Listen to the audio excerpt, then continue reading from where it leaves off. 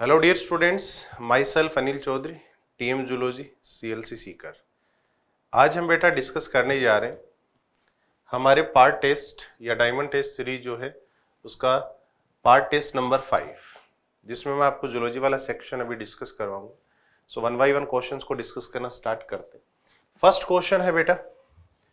Pouch mammals are present in Australia only जो pouch mammals हैं, जो शिशुधानी स्तनधारी हैं, वो केवल ऑस्ट्रेलिया में ही पाए जाते हैं, ऐसा क्यों है? तो पहला पॉइंट दे रखा है due to lack of placental mammals placental mammals जो है, उनकी कमी के कारण, जी due to continental drift pouch mammals in Australia survive देखिए, महाद्वीपीय विचलन के फलस्वरूप क्या हुआ? कि जो पाउच मेमल्स थे शिशुदानी स्तनधारी जो थे, वो ज़्यादा अच्छी तरीके से विकसित हो पाए। ज़्यादा अच्छी तरीके से क्या हो पाए? विकसित हो पाए। तीसरा जो ऑप्शन है, उसमें दे रखा है lack of competition from any other mammals उनका जो था, वो अन्य स्तनधारियों से प्रतिस्पर्धा नहीं थी। हाँ कॉन्टिनेंटल ड्रिफ्ट के कारण ऐसा हुआ था, महाद्वीप विचलन के कारण ऐसा हुआ था, कि वहाँ पर उस शिशुधानी स्तनधारी की जो है, वो अन्य स्तनधारियों के साथ में जो है, वो प्रतिस्पर्धा नहीं बन पाई थी। इस वजह से स्ट्रगल में वो मारे नहीं गए और ज़्यादा अच्छी तरीके से विकास दर्शा पाए।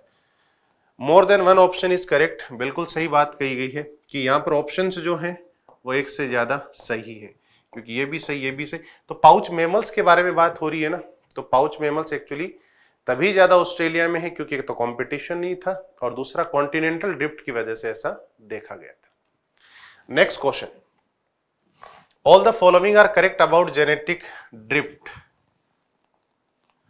except सारे के सारे जो कथन हैं, वो सही हैं। कॉन्टिनेंटल ड्रिफ्ट के बारे में किसी एक को छोड़कर। So genetic drift also call as Sewall Wright effect is more likely to occurs in a small population देखिए बेटा जेनेटिक ड्रिफ्ट जो होता है वो पहली बात तो स्मॉल पॉपुलेशन यानी छोटी पॉपुलेशन जो होता है उस छोटी पॉपुलेशन में हमें देखने को मिलता है। जेनेटिक ड्रिफ्ट का मतलब यह है कि पॉपुलेशन जो है उसे यदा कदा कुछ जीवधारी जो है या फिर कुछ जीन जो है उनका निकलकर चले जाना।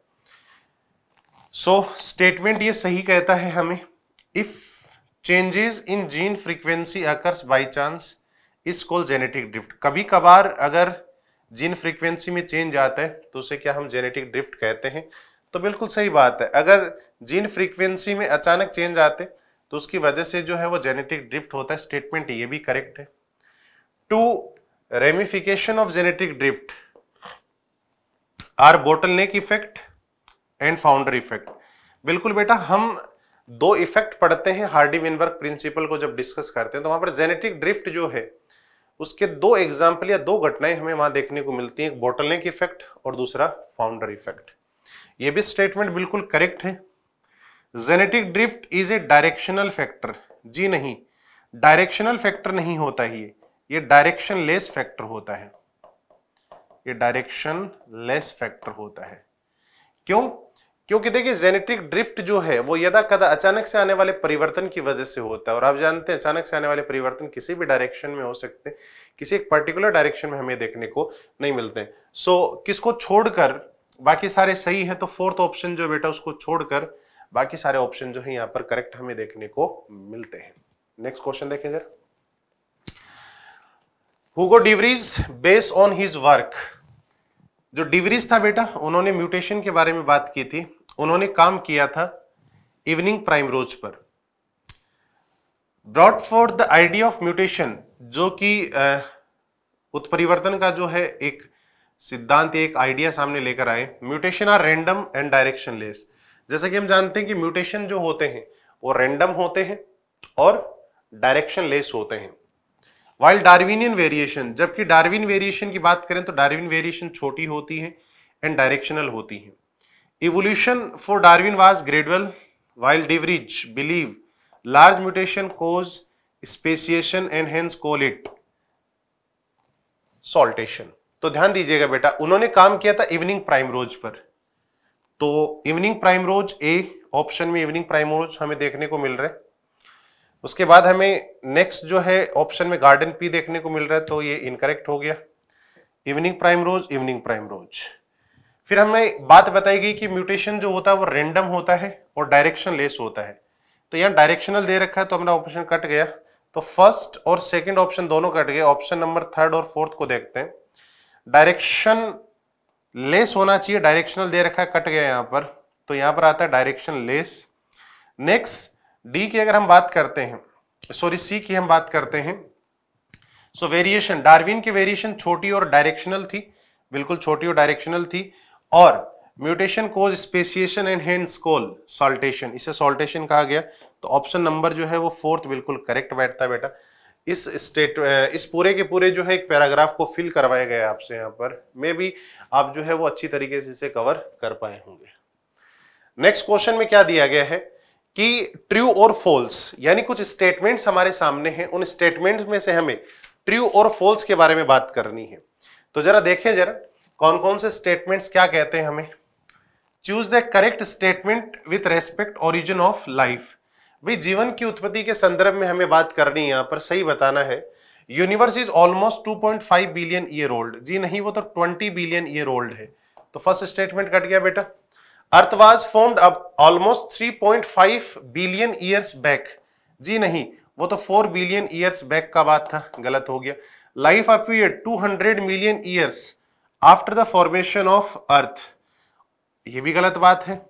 Operin and Halden proposed that the first life could have come from pre-existing non-living organic molecule, that is RNA and protein. ये हम जानते हैं, ठीक है? क्या? कि आरएनए और प्रोटीन जो थे, उनके बारे में उन्होंने क्या बताया? इन्होंने एक एक्सपेरिमेंट कंडक्ट किया जिसे ओपेरिन हेल्डेन थ्योरी हम कहते हैं, जिसमें हम पढ़कर आते हैं। उसमें बताया जाता है कि फ़र्स्ट लाइफ जो है, वो पहले से विद्यमान जो नॉन लिविंग ऑर्गेनिक मॉलिक्यूल्स हैं लाइक आरएनए और प्रोटीन्स उन आरएनए और प्रोटीन से जो है वो एक नया लाइफ निकल कर आया था। तो option number fourth is correct okay चलिए नेक्स्ट देखते हैं। Read the statement A and B and choose the correct option A और बी कथन को पढ़कर सही विकल्प का चयन करें। After industrialisation lichen did not grow abundantly on tree trunks ये कहता है क्या? कि इंडस्ट्रियलाइजेशन आने के बाद, औद्योगिकरण के बाद पेड़ के तनों पर लाइकेन बहुतायत से नहीं उग पाए। बिल्कुल सही बात है, क्योंकि जब प्रदूषण होता है तो प्रदूषण होने पर या प्रदूषण वाले इलाके में कभी भी लाइकेन ग्रो नहीं करता है। After industrialisation Biston betularia decrease in number and Biston carbonaria increase in number ये कहता है क्या कि जो बिस्टोन बिटुलेरिया है, वो बिस्टोन बिटुलेरिया संख्या में कम हो गया। मतलब श्वेत पंख सल्ब जो थे, उनकी संख्या कम हो गई।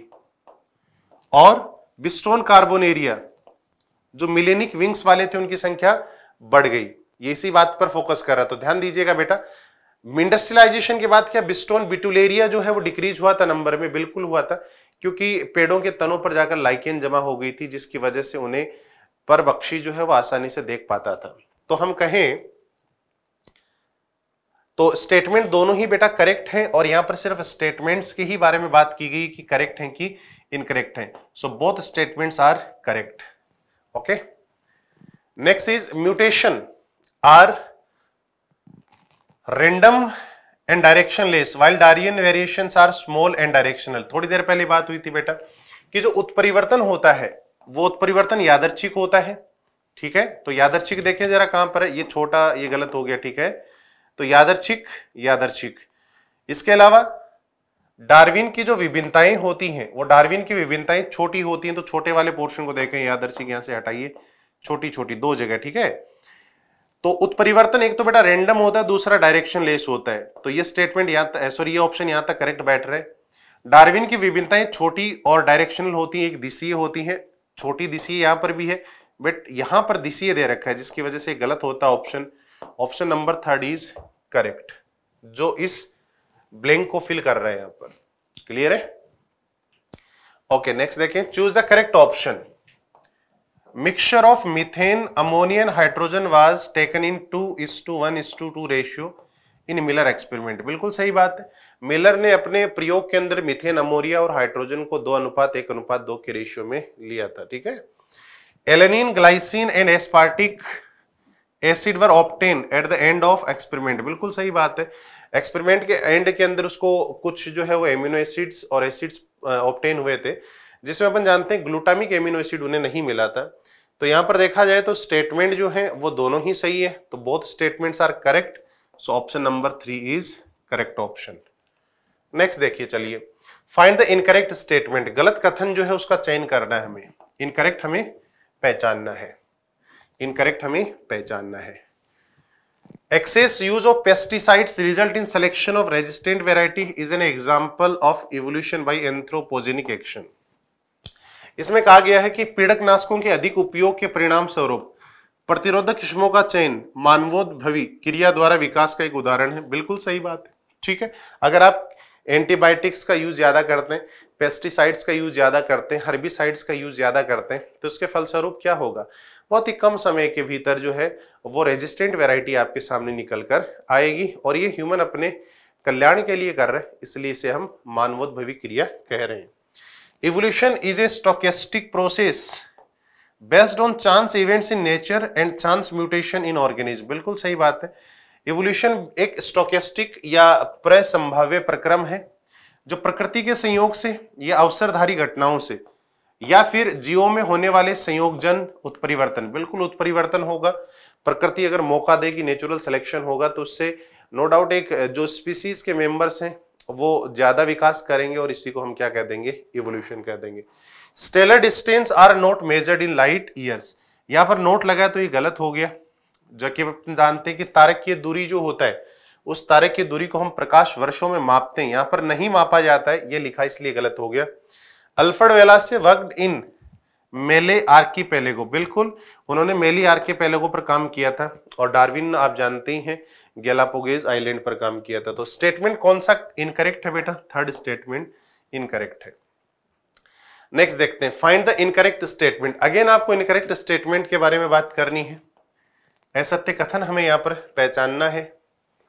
तो असत्य कथन में अगर हम बात करते हैं फ़र्स्ट ऑफ़ स्टेटमेंट की तो क्या कहता है? The fitness of an individual is refer to as the reproductive fitness बिल्कुल सही बात है डार्विन ने ये कहा था कि अगर एक इंडिविजुअल की फिटनेस के बारे में आप बात करना चाहते हैं तो डार्विन उसे रिप्रोडक्टिव फिटनेस कहता है। वो कहता है कि अगर जीव जो है, वो उपयुक्त है तो प्रकृति उसका चयन करेगी और प्रकृति अगर उसका चयन करती है तो जीव जो होता है, उसमें जनन करने की क्षमता अत्यधिक होती है, जिसके कारण वो अपनी पीढ़ियाँ जो होती हैं, उन पीढ़ियों में संततियों की संख्या अत्यधिक छोड़कर चला जाता है। बिल्कुल सही स्टेटमेंट है। According to Darwin, any population has built-in variation in characteristics. Darwin के अनुसार किसी समष्टि के लक्षणों में विभिन्नता निहित होती है बिल्कुल। समष्टि के लक्षणों में विभिन्नता आपको देखने को मिलेगी ये आप जानते हैं सेक्सुअल रिप्रोडक्शन की वजह से होता है।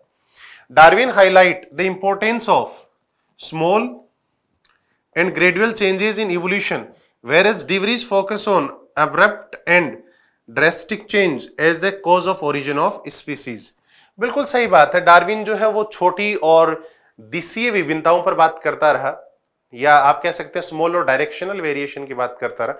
जबकि अपन जानते हैं, डिवरीज जो थे, वो रैंडम और डायरेक्शन लेस जो भी वेरिएशंस थी, उनके ऊपर फोकस कर रहे थे, उनके बारे में वो ज़्यादा बात करते थे।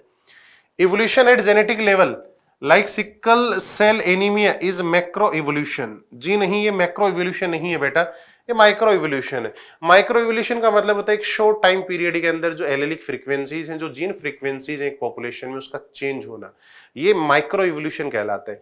सिकल सेल एनीमिया के केस में ऐसा ही हुआ है। जेनेटिक लेवल पर अगर हम सिकल सेल एनीमिया की बात करते हैं तो एक शॉर्ट टाइम पीरियड के अंदर जो है, वो जीन फ्रीक्वेंसी में चेंज देखने को मिला है। So statement number fourth is incorrect and all the statements are correct okay ये माइक्रो इवोल्यूशन होगा मैक्रो इवोल्यूशन नहीं होगा। Find the mismatch of different category of human with their corresponding character तो बिल्कुल हमें गलत का मिलान करना है ना? एसुमेल को हमें पहचानना है। पहली बात आती है होमोहेबिलस तो होमोहेबिलस की ब्रेन कैपेसिटी दे रखी है 650 से 800 क्यूबिक क्यूब। बिल्कुल सही बात है यहाँ पर। Australopithecus they lived in East Africa grasslands बिल्कुल वो ईस्ट अफ्रीका के ग्रासलैंड एरिया के अंदर रहते थे। पूर्वी अफ्रीका के घास के मैदानों में वो रहता था। दोनों मैचिंग बिल्कुल करेक्ट है यहाँ तक। होमोहेबिलस की बात अगर हम करते हैं, उसके बाद आ जाता है थर्ड ऑप्शन में होमोसेपियंस जो कहता है करेक्टस में क्या? कि इनकी उत्पत्ति जो है वो पिछहत्तर हज़ार से दस हज़ार मिलियन वर्ष पूर्व हुई। बेटा मिलियन वर्ष नहीं था। ये तो एक आइस एज वाला पीरियड था जहाँ पर इनका उत्पत्ति हुआ था। तो मिलियन ईयर्स अगो होने की वजह से ये थर्ड जो है वो मैचिंग बिल्कुल इनकरेक्ट है। तो ये मैचिंग इनकरेक्ट है बेटा। नेक्स्ट देखते हैं। Dryopithecus existed about 15 million year and was more like apes बिल्कुल ड्रायोपिथेकस जो थे वो एप्स की तरह ही थे। रामापिथेकस जो था वो मेल लाइक था। तो स्टेटमेंट सॉरी मैचिंग थर्ड जो है वो इनकरेक्ट मैचिंग है। सो so, अपना वो आंसर जो है वो थर्ड चला जाएगा यहाँ पर। टू की कॉन्सेप्ट ऑफ़ डार्विनियंस और डार्विनिज्म आर जो डार्विन के सिद्धांत था बेटा, उसकी दो मुख्य संकल्पनाएँ क्या थी? उसमें पहला मुख्य संकल्पना था बेटा नेचुरल सिलेक्शन नेचुरल सिलेक्शन और दूसरा जो था बेटा, वो था ब्रांचिंग डिसेंट ब्रांचिंग डिसेंट सार्वनी अवरोहण। तो देख लें जरा कौन से ऑप्शन के अंदर ये लिखा हुआ है। ब्रांचिंग डिसेंट ठीक है साल्टेशन गलत है अडप्टिव रेडिएशन गलत हो गया, ठीक है। नेचुरल सिलेक्शन ये गलत हो गया। Branching descent and natural selection तो option number fourth is correct okay next देखें। Selection of DDT resistant mosquito is an example of ये कह रहा है कि डीडीटी प्रतिरोधी मच्छरों का चेन जो है वो किसका उदाहरण है? देखिए, अगर नेचुरल सिलेक्शन की हम बात करते हैं, और वहाँ पर अगर मीन करेक्टर वैल्यू जो है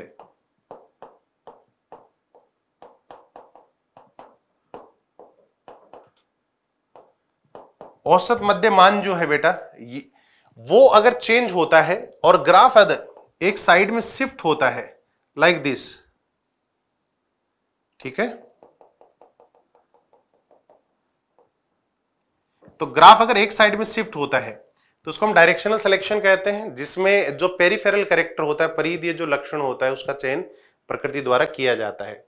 तो डीडीटी रेजिस्टेंट मॉस्किटो का मतलब ये है कि भैया एक पॉपुलेशन जो होती है, उसमें अगर अपन बात करते हैं मच्छरों की एक जनसंख्या तो उसमें सारे मच्छर जो है वो सम्मिलित रूप से रहते हैं, भले वो डीडीटी के प्रति प्रतिरोधकता रखने वाले हों या फिर प्रतिरोधकता नहीं रखने वाले हों। परंतु जैसा कि अपन जानते हैं कि एंथ्रोपोजेनिक एक्शन जब होता है, मानवोद्भवी क्रिया जब होती है तो उसके फलस्वरूप अपन जानते हैं कि अपन डीडीटी का ज़्यादा यूज़ करते हैं। उस डीडीटी के ज़्यादा प्रयोग करने की वजह से उन मच्छरों में से केवल वही मच्छर जो है उनकी पॉपुलेशन बढ़ेगी, जिन मच्छरों के अंदर प्रतिरोधक क्षमता है। तो इसका मतलब ये हुआ कि पॉपुलेशन में से एक हिस्सा जो है उसका नेचुरल सिलेक्शन हो रहा है। मतलब एक डायरेक्शन में ग्राफ जो है वो शिफ्ट होगा। तो ये एक्चुअली एक डायरेक्शनल सिलेक्शन जो है, उस डायरेक्शनल सिलेक्शन का एग्ज़ाम्पल है। अच्छी तरीके से आपको समझ में आ चुका होगा क्या कि अगर अगर एक पेरिफेरल करेक्टर वैल्यू जो है मीन करेक्टर वैल्यू की बजाय एक परिधीय या फिर एक दिशा में लक्षण प्रारूप का चयन होता है, जीवों का चयन होता है तो उसको हम डायरेक्शनल सिलेक्शन कहते हैं, जिसमें मीन करेक्टर वैल्यू क्या होता है? चेंज नेक्स्ट देखें जरा। Which of the following experiment suggest that simplest living organism could not have originated spontaneously from non living matter तो ये बात ये कर रहा है बेटा कि किस प्रयोग से हमें यह पता चलता है कि सरलतम जीवित जीव निर्जीव पदार्थ स्वतः ही उत्पन्न नहीं हो सकते थे। सड़े हुए कार्बनिक पदार्थों में लार्वा दिखाई दे सकते हैं। Larva could appear in decaying organic matter बिल्कुल सही बात है। ये अपन जानते हैं लुइस पाश्चर ने जो है वो एक्सपेरिमेंट करके प्रूव किया ही था। Meat was not spoil when heat and keep seal in a vessel तो पाश्चर ने क्या किया था कि मांस को गर्म करके बर्तन में बंद कर दिया और इससे वो खराब नहीं हुआ। बिल्कुल ऐसी स्थिति में अपन जानते हैं कि सरल जीव उत्पन्न नहीं होते हैं। Microbes did not appear in store meat संग्रहित मांस में सूक्ष्म जीव दिखाई नहीं दिए।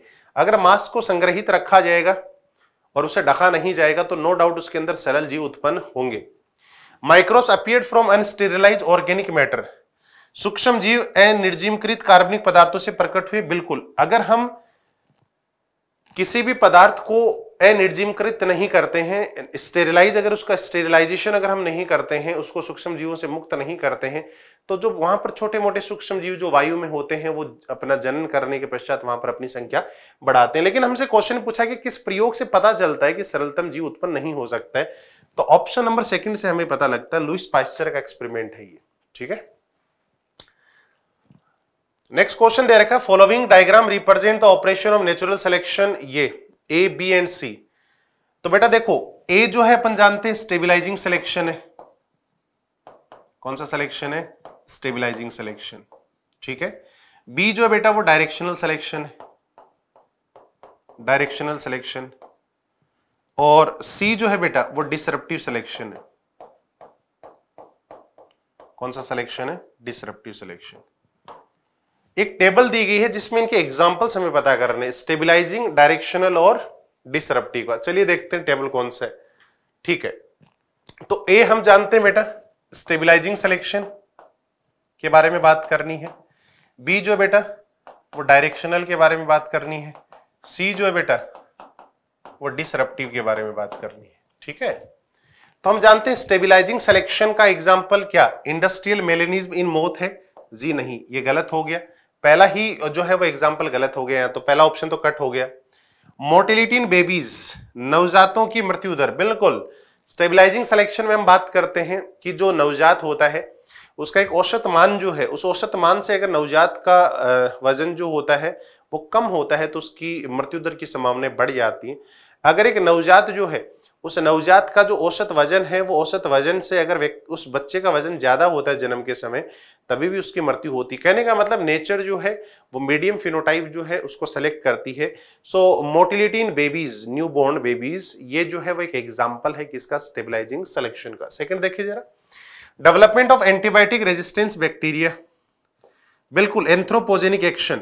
यहाँ पर भी सही बैठ रहा है। डायरेक्शनल सिलेक्शन में हम जानते हैं अगर एंटीबायोटिक ज़्यादा यूज़ होंगे तो एंटीबायोटिक रेजिस्टेंस वाली वेराइटीज जो है वो जनरेट होंगी, उसको नेचर फेवर करेगा। तो ग्राफ एक साइड में शिफ्ट होना स्टार्ट होगा। Size of beaks of Galapagos finches size of Galapagos finches तो जो गेलापोगोज फिंच थी डार्विन फिंच उसकी जो चोंच की भिन्नताएँ थी, वो बेटा डिसरप्टिव का सिलेक्शन है। क्योंकि हम जानते हैं कि गैलापोगोज आइलैंड के ऊपर हमें भिन्न भिन्न चोंच वाले जो है वो काली चिड़िया मिल रही थी।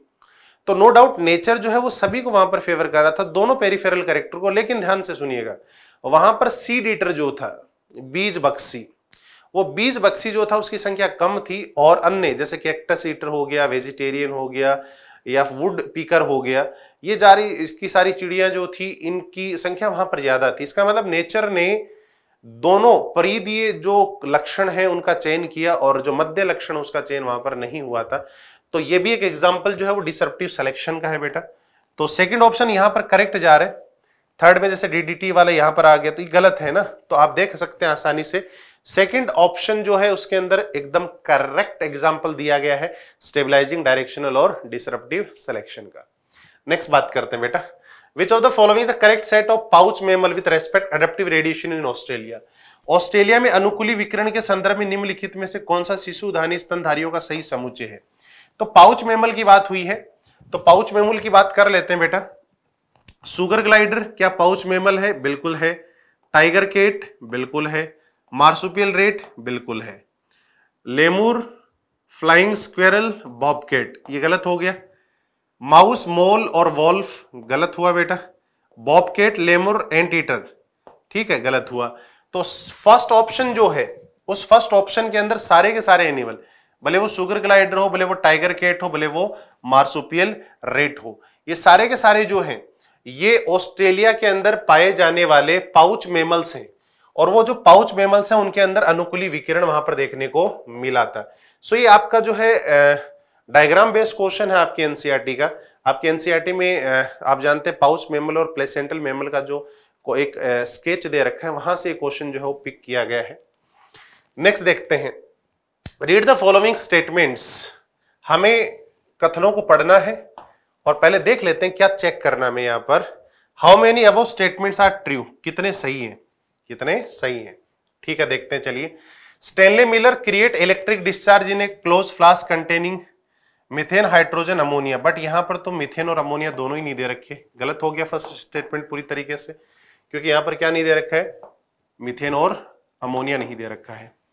Embryological support for evolution was also propose by Karl Ernest von Baer बिल्कुल सही बात है। The first non cellular form of life could have originated three billion year back non cellular form की बात हुई है। बिल्कुल सही। Earth was suppose to have been form about 4.5 million years back. गलत हो गया। प्रीमिटिव एटमोस्फियर वाज रिड्यूसिंग बिल्कुल प्रीमिटिव एटमोस्फियर कैसा था? रिड्यूसिंग सो सेकंड जो है वो बिल्कुल सही है। डी भी सही है और ई e भी सही है। ए और सी गलत माना गया यहाँ पर। तो कितने कथन सही हुए? कथन हुए बेटा तीन सही। कितने कथन सही हुए? तीन। तो थर्ड ऑप्शन आ जाएगा यहाँ पर बेटा। नेक्स्ट बात करते हैं, चलिए। नेक्स्ट कॉलम की मैचिंग करनी है बेटा। किसकी मैचिंग करनी है? कॉलम की। इस कॉलम मैचिंग की अगर हम बात करते हैं तो कॉलम मैचिंग में हमें क्या क्या दिया गया है? एक तो पक्षी और तितली के पंख दिए गए हैं। तो बेटा, पक्षी और तितली के पंखों की बात करें तो भले बर्ड्स और बटरफ्लाई की आप बात करें तो दोनों की पूर्वज जो हैं, वो डिफरेंट है। मतलब एक जो है बेटा वर्टिब्रेट है, एक नॉन वर्टिब्रेट है या एक नॉन कोऑर्डिनेट है। ठीक है? तो ये अलग अलग पूर्वस्था को वहाँ पर दर्शाती हैं। क्यों? क्योंकि इनके पंखों का कार्य कैसा है? एक समान है मतलब इनके अंदर समान अनुकूलन है, परंतु इनके पूर्वज अलग अलग है मतलब इनकी उत्पत्ति और संरचना अलग अलग है। क्योंकि बटरफ्लाई की अगर हम बात करते हैं तो बटरफ्लाई में जो पंख होते हैं, वो क्यूटिकल के मॉडिफिकेशन होते हैं, और बर्ड्स के अंदर आप जानते हैं, पंख जो होते हैं, वो अग्रपादों के रूपांतरण होते हैं। तो डी आ गया, कन्वर्जेंट इवोल्यूशन। ऑस्ट्रेलियन मार्सोपियल्स जो हैं उनके अंदर आप जानते हैं अडप्टिव रेडिएशन देखने को मिला था सी गेलापोगेज आइलैंड की अगर हम बात करते हैं तो बेटा डार्विन की लेबोरेटरी थी B single large step mutation उसको हम सॉल्टेशन कहते हैं, जो कि जाति उद्भवन के लिए ज़रूरी है। So D C A B D C A B first option जो है, वो मैचिंग कर रहा है। क्लियर मैच कर लीजिएगा इसे। चलिए जी नेक्स्ट देखते हैं। If mating is random population is large and mutation does not occurs और do not occurs then gene frequency of a population from generation to generation remain constant ये तो बेटा हार्डी और विनबर्ग का प्रिंसिपल है। इसमें तो इतना ज़्यादा कुछ सोचने की ज़रूरत है ही नहीं। क्या? कि अगर संगम यादर्शिक है, बड़ी समष्टि है, उत्परिवर्तन नहीं होता है, और पीढ़ी दर पीढ़ी अगर जीन बारंबारता नहीं बदलती है तो ये किसने दिया था सिद्धांत? तो हार्डी और विनबर्ग ने। ओके नेक्स्ट देखें जरा। नेक्स्ट में क्या गया है? मैच द कॉलम करवाया गया बेटा। सो so फ़र्स्ट क्या है? Simultaneous extinction of many animal population by a natural calamity अगर प्राकृतिक विपत्ति के कारण कई जंतु के समष्टियों का समकालिक विलोपन होता है तो इसे हम विपदा सिद्धांत कहते हैं या फिर इसे हम थ्योरी ऑफ़ कैटाट्रोफिज्म कहते हैं। सो so, यहाँ पर थर्ड आ गया। Spores from outer space reach earth through meteorites उल्कापिंड के माध्यम से स्पोर अंतरिक्ष धरती पर आ गए। तो इसे आप कौन सा सिद्धांत कहते हैं? तो इसे आप पेनिस्पर्मिया सिद्धांत कह देते हैं। फोर्थ आ गया बेटा। Micro organism when carried by air created life in favoured media जब सूक्ष्म जीवों का वहन वायु द्वारा होता है तो यह सहकारी माध्यम में जीवन की रचना करता है।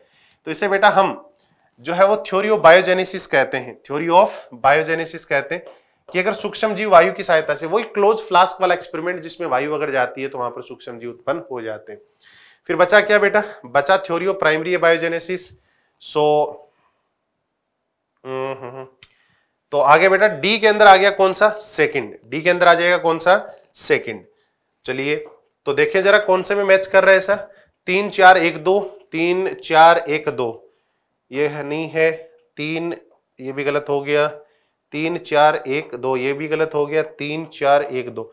फोर्थ ऑप्शन बेटा करेक्ट हो गया यहाँ पर, ठीक है? नेक्स्ट देखें।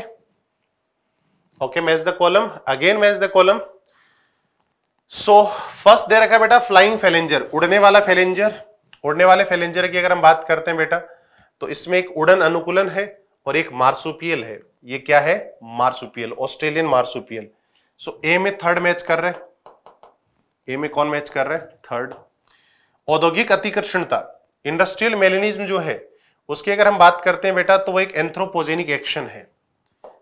मानवोद्भिद क्रिया है वो। साइकेड एंड डाइकोट्स की अगर हम बात करते हैं तो बेटा वो प्रोजिम्नोस्पम्स है और एक्सटिंक्शन ऑफ़ चीता, ये बोटलनिक के इफ़ेक्ट को दर्शाता है। तो तीन एक चार दो, तीन एक चार दो fourth option is correct okay next देखें बेटा नेक्स्ट में क्या बात की गई है? Choose the option represent a false statement उस विकल्प का चयन करना है आपको, जो कि एक फॉल्स स्टेटमेंट को बताता है। क्या कहता है यहाँ पर? फ़र्स्ट स्टेटमेंट कहता है Tasmanian wolf is a marsupial बिल्कुल सही बात है। While wolf is a placental mammal बिल्कुल। दे शो कन्वर्जेंट इवोल्यूशन बिल्कुल। वो जो है, वो अभिसारी विकास दर्शाते हैं। तो तस्मानीय भेड़िया एक शिशुधानी है, जबकि भेड़िया एक अपरास्तनी है। ये बिल्कुल स्टेटमेंट करेक्ट है। Convergent evolution is exemplified by wings of mosquito bat and pigeon बिल्कुल, अभी तो बात हुई। भैया मॉस्किटो है, चमगादड़ है और कबूतर है। तो ये पक्षी है, ये स्तनधारी है और मॉस्किटो एक कीट है ऑर्थ्रोपोडा से। तो अलग अलग पूर्वस्था को दर्शाते हैं तो नो डाउट वो कन्वर्जेंट इवोल्यूशन का एग्ज़ाम्पल है शो कर रहे सही है। Existence of marsupial in Australia and New Zealand prove continental drift बिल्कुल सही बात। अगर हम बात करते हैं मार्सुपियल्स की शिशुधानी की तो वो ऑस्ट्रेलिया और न्यूजीलैंड दोनों में ही है। ठीक है? ये दर्शाते हैं कि कॉन्टिनेंटल ड्रिफ्ट हुआ है, महाद्वीपीय विचलन हुआ है, जिसकी वजह से दोनों जगह पर ये अपना विकास दर्शा पाए हैं। Most primitive living mammal which provide an evidence of organic evolution in context of geographical distribution are set to be eutherian mammal अगर हम बात करते हैं यहाँ पर तो यूथीरियन मेमल्स जो होते हैं बेटा उसके बारे में बात की गई कि सबसे प्राचीन सजीव स्तनधारी जो भौगोलिक वितरण के संदर्भ में कार्बनिक विकास का प्रमाण प्रदान करता है, उसे यूथीरियन स्तनधारी कहा जाता है। तो गलत है, उसे यूथीरियन स्तनधारी नहीं कहा जाता। प्रोटो, प्रोटोथीरियन वो होते हैं। ठीक है? ऑप्शन नंबर कौन सा चला जाएगा? फोर्थ। नेक्स्ट देखें। Select the incorrect statement with respect Malthus theory Malthusian theory जो है उसके बारे में गलत चीज़ हमें बताना है, गलत स्टेटमेंट हमें सेलेक्ट करना है। सो माल्थस क्या कहता है बेटा? Every population has an inherent capacity to increase its number exponentially बिल्कुल सही बात है। हर जीव के अंदर जो है एक क्षमता होती है। हर जनसंख्या में एक क्षमता होती है कि उसके जीव जो होती है, उनकी संख्या लगातार बढ़ती रहती है और चर घातांकी रूप से बढ़ती है। बोलो क्लियर है? जैसे दो से चार हो गए, चार से छह छह से आठ आठ से बारह। The population remain stable in size बिल्कुल पॉपुलेशन स्टेबल रहती है साइज़ में. Even during all seasonal fluctuation ओहो, ये गलत हो गया। भैया, अगर सीजनल फ्लक्चुएशन को छोड़ दें तो उसके अलावा जो पॉपुलेशन होती है, वो स्टेबल रहती है। क्योंकि सीजनल फ्लक्चुएशन में जो है, वो ब्रीडिंग होती है। ब्रीडिंग से उनका नंबर बढ़ता है। बाकी क्या होता है ना, फिर कंपटीशन की वजह से वो साइज़ जो है पॉपुलेशन का वो साइज़ जो है, वो स्टेबल रहता है हमेशा। Excessive explosion of the natural resources badly affect the size of population बिल्कुल उनमें कंपटीशन देखने को मिलेगा। Natural keep a control over the size of population by बिल्कुल। नेचर भी जो है वो अलग अलग टाइप के चैलेंजेस रखती है पॉपुलेशन के सामने ताकि उनमें से जो है उस पॉपुलेशन का जो साइज़ है, उस साइज़ को एक स्टेबल साइज़ में रखा जाए। गलत पूछा गया था सेकंड गलत है। ठीक है? क्योंकि वहाँ पर सीजनल फ्लक्चुएशन को भी इंक्लूड कर लिया गया, जबकि विदाउट सीजनल फ्लक्चुएशन जो है वो पॉपुलेशन का साइज़ क्या रहता है? स्टेबल नेक्स्ट देखिए। Allele T for the ability of to test a particular chemical is dominant over allele small t for the inability to test the chemical 400 university students were survey and 64 were found to be non tester calculate the percentage of heterozygous students ठीक है बेटा। तो इसने हमें क्या बताया? P square Q square की अगर हम बात करते हैं तो यहाँ पर हमें क्यू स्क्वायर दिया गया है। स्मॉल टी स्मॉल टी के बारे में बात हुई है। 64 स्टूडेंट है कितने में से? 4000 में से। मतलब ये हो गया बेटा कितना? 64,000 है।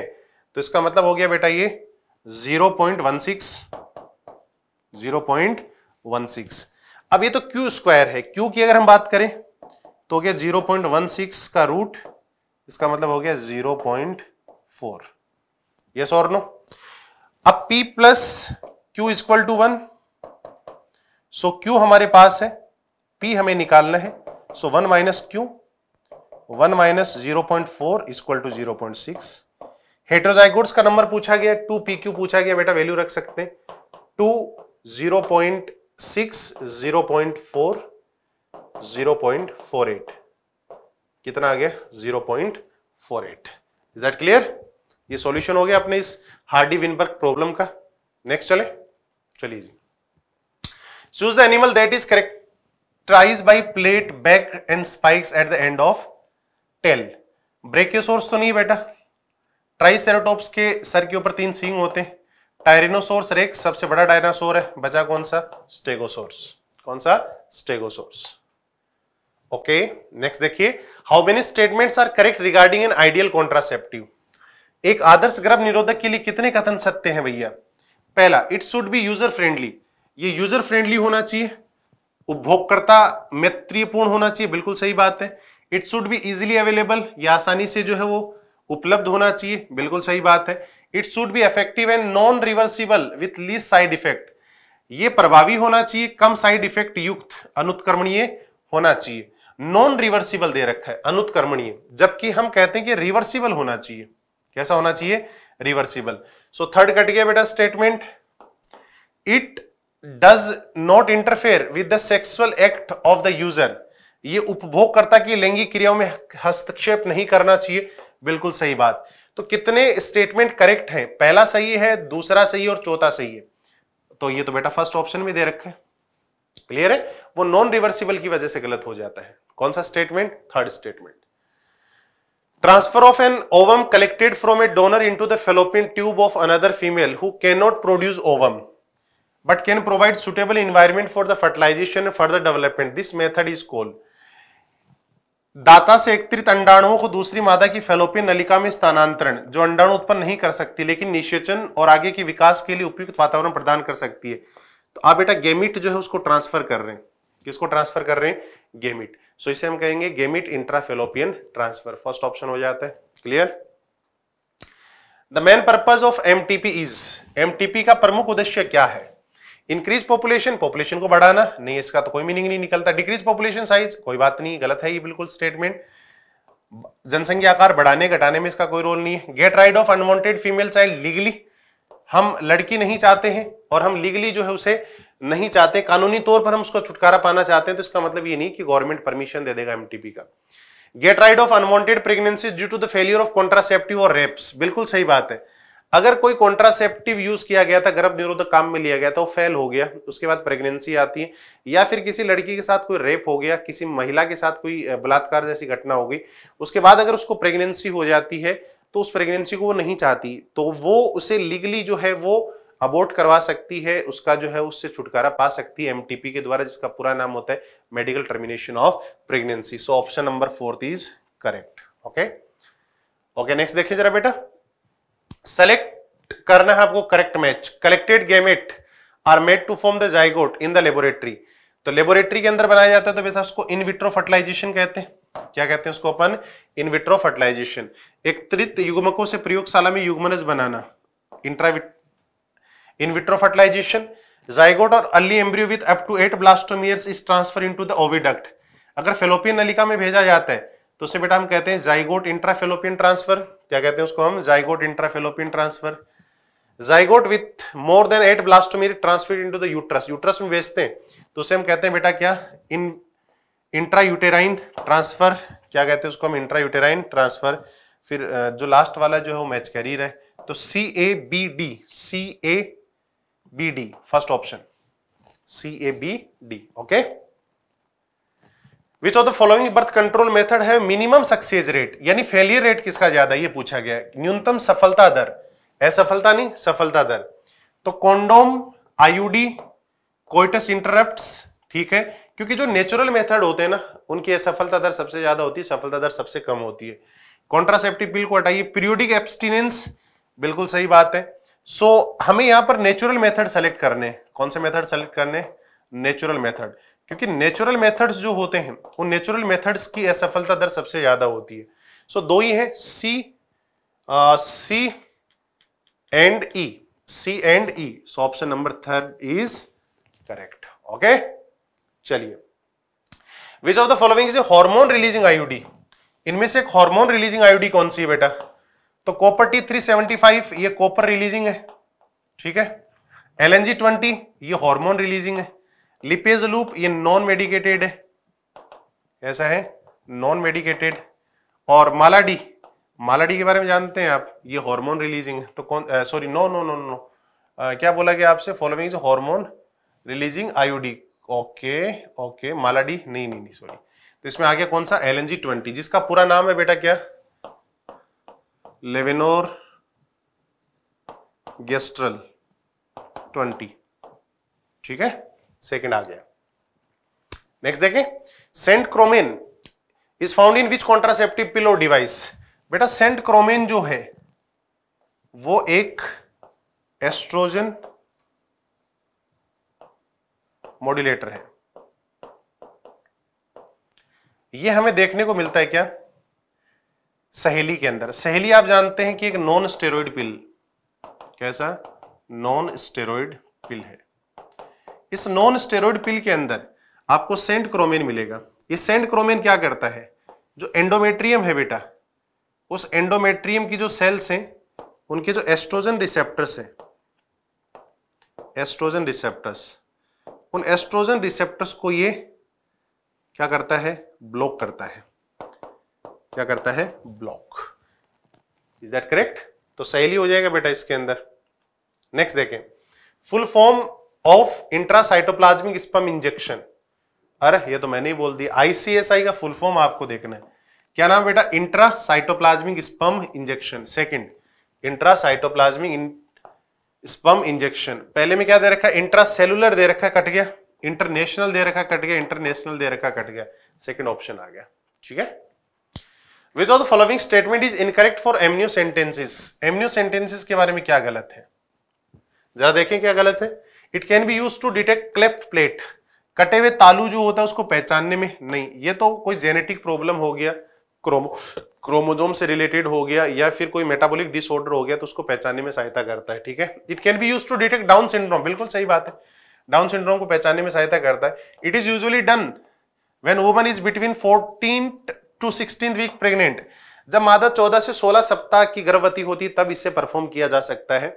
It use for the parental sex determination बिल्कुल। Sorry prenatal not parental it is use for prenatal sex determination ये जो होता है, इसका उपयोग हम जन्म से पूर्व ही लिंग निर्धारण में कर लेते हैं, जो कि एक इलीगल है, नहीं करना चाहिए, लेकिन कुछ लोग करते हैं, जिसकी वजह से ही इसे जो है वो काफ़ी स्ट्रिक्ट रूल और रेगुलेशन के साथ जो है वो परफॉर्म किया जाता है। सो so, बेटा, कहा जाए तो इसमें गलत क्या है? तो गलत है फ़र्स्ट बाकी सभी क्या है? सही है। क्लियर ओके नेक्स्ट क्या दिया गया है? The given diagram show fallopian tube of the four womens in which two diagram woman fertilisation is possible at present okay यहाँ पर पी क्यू आर और एस फेलोपियन नलिका दी गई है। ये पूछ रहा है कि इनमें से किन दो के अंदर जो है वो निषेचन संभव है? देखें जरा। पी के अंदर आप देख रहे हैं, यहाँ पर लिखा पार्शियल ब्लॉकेज मतलब आंशिक रूप से जो है वो फेलोपियन नलिका को बंद किया गया है। आंशिक रूप से बंद किया गया मतलब सिंपल सी बात है, शुक्राणु जो है, वो शुक्राणु जा सकता है फेलोपियन नलिका में तो निषेचन संभव है। क्यों? कंप्लीट ब्लॉकेज लेकिन कंप्लीट ब्लॉकेज सिर्फ़ एक ही फेलोपियन ट्यूब का हुआ, दूसरी खुली हुई है। बोलो, जा सकता है शुक्राणु, हो सकता है निषेचन, सही बात है। अरे स्वर्ण, इनमें कंप्लीट ब्लॉकेज है, नहीं हो सकता निषेचन, इसमें काट कर बाँध दिया गया, नहीं हो सकता निषेचन। पी क्यू में हो सकता है पी क्यू में हो सकता है पी क्यू में हो सकता है? फ़र्स्ट ऑप्शन में हो सकता है। क्लियर ओके नेक्स्ट देखिए बेटा which of the following indicate pregnancy इनमें से कौन सा जो है, वो प्रेगनेंसी को दर्शाता है? लेक ऑफ़ मेस्ट्रुएशन बिल्कुल सही बात है। मासिक धर्म की कमी, बिल्कुल सही बात है। अगर मासिक धर्म नहीं होगा तो इसका मतलब ये हो सकता है कि वो प्रेगनेंसी को दर्शा रहा है।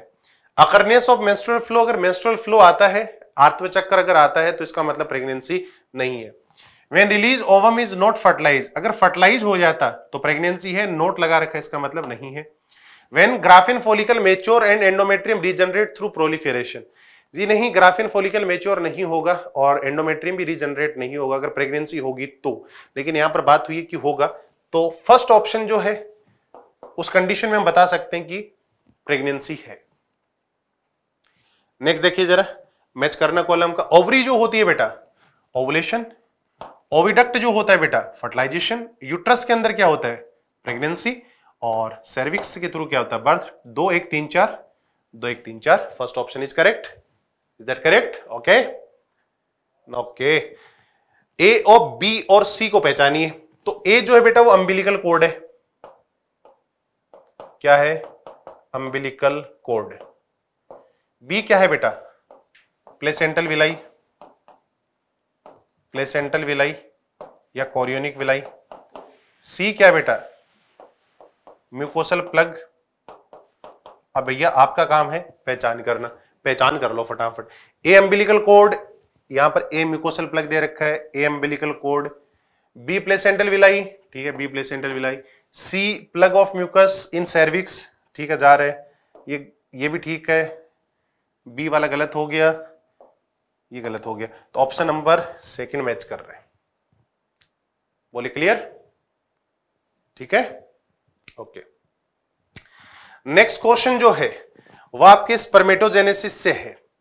अब स्पर्मेटोजेनेसिस से क्वेश्चन है तो नो डाउट लेबलिंग जो है, उस लेबलिंग में आपको काफ़ी दिक्कत महसूस हुई होगी। क्योंकि यहाँ पर कोशिका को पहचानना काफ़ी मुश्किल हो गया होगा आपके लिए। ए बी सी और डी दे रखे हैं डायग्राम के अंदर और उसमें यह बोला गया है कि जो गलत स्टेटमेंट है ना उससे पहचानिए भैया। चलो, ए देखते हैं। तो ए कहाँ है? ए यहाँ पर है। तो ए है भैया सर्टोली सेल। ए क्या है? Sertoli cell. मैं लेबलिंग कर देता हूँ। क्योंकि देखो, ये सेल और ये सेल सेम है। और यहाँ पर आप देख रहे हैं, डी जो है, वो पोषण प्राप्त कर रहा है। पोषण प्राप्त कर रहा है, इसका मतलब सर्टोली सेल से वो पोषण प्राप्त कर रहा है। बी की बात करते हैं तो बी जो है, वो बेटा साइज़ में बड़ी सेल है। ये प्राइमरी स्पर्मेटोसाइट है। क्या है ये प्राइमरी स्पर्मेटोसाइट बोलो क्लियर फिर बात करते हैं किसकी? सी की। तो सी जो है बेटा, इसकी तुलना में ये छोटा है, ये है बेटा सेकेंडरी स्पर्मेटोसाइट कौन है ये सेकेंडरी स्पर्मेटोसाइट ओके डी जो है, उस डी की अगर हम बात करते हैं तो वो बेटा एक्चुअली स्पर्मेटिड है। क्या है वो? स्पर्मेटिड बोलो क्लियर सो so, क्या दिया गया है? ए जो है वो सर्टोली सेल है और ए जो है वो सर्टोली सेल हेल्प कर रहा है किसके अंदर? सर्टोली सेल हेल्प कर रहा है टेस्टोस्टेरोन को कंसंट्रेट करने में। क्या सीक्रेट करके? Androgen binding protein in influence of FSH तो एंड्रोजन बाइंडिंग प्रोटीन जो होता है बेटा वो एंड्रोजन बाइंडिंग प्रोटीन एक्चुअली क्या करता है? वो लिडिक सेल्स जो होती हैं, उन लिडिक सेल्स को प्रमोट करता है टेस्टोस्टेरोन हार्मोन सिंथेसिस और सिक्रेशन के लिए और androgen binding protein Sertoli cell से रिलीज़ होता है। So first is correct okay B क्या है बेटा? प्राइमरी स्पर्मेटोसाइट और ये जो है वो जेनेटिकली सिमिलर स्पर्मेटोगोनिया के। क्यों? क्योंकि बेटा देखो प्राइमरी स्पर्मेटोसाइट जो है, वो डिप्लॉइड है यस और नो और जो स्पर्मेटोगोनिया होता है वो स्पर्मेटोगोनियम भी कैसा होता है? वो भी डिप्लोइड होता है तो स्टेटमेंट सेकेंड भी सही है। सी क्या दे रखा है? Secondary spermatocyte and these cells are first haploid cell of the spermatogenesis बिल्कुल। सेकेंडरी स्पर्मेटोसाइट पहली बार जो है एक हैप्लोइड सेल वहाँ पर बनता है। तो तीसरा भी सही है। चौथा देखते हैं D is spermatozoa and these are the final product of spermatocytogenesis लेकिन आप जानते हैं कि स्पर्मेटोजोवा जो होता है, वो स्पर्मियोजेनेसिस का फाइनल प्रोडक्ट होता है। यहाँ पर क्या दे रखा है? स्पर्मेटोसाइटोजेनेसिस स्पर्मेटोसाइटोजेनेसिस से क्या होता है? स्पर्मेटोसाइटोजेनेसिस से जो है, वो स्पर्मेटिड बनता है। और स्पर्मेटोजोवा जो है, वो स्पर्मेटिड जब स्पर्मेटोजोवा में कन्वर्ट होता है तो उसे हम स्पर्मियोजेनेसिस कहते हैं। तो गलत कौन सा है? फोर्थ स्टेटमेंट गलत है। आगे बढ़ते हैं। In human primary and secondary sex determination occurs in which place respectively okay primary and secondary sex determination primary sex determination का मतलब क्या भैया? Primary sex determination primary sex determination का मतलब है बेटा formation of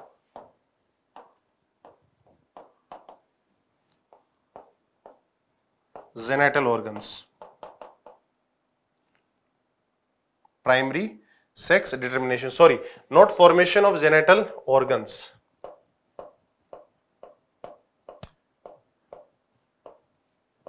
that is fusion of gametes. Fusion of gametes.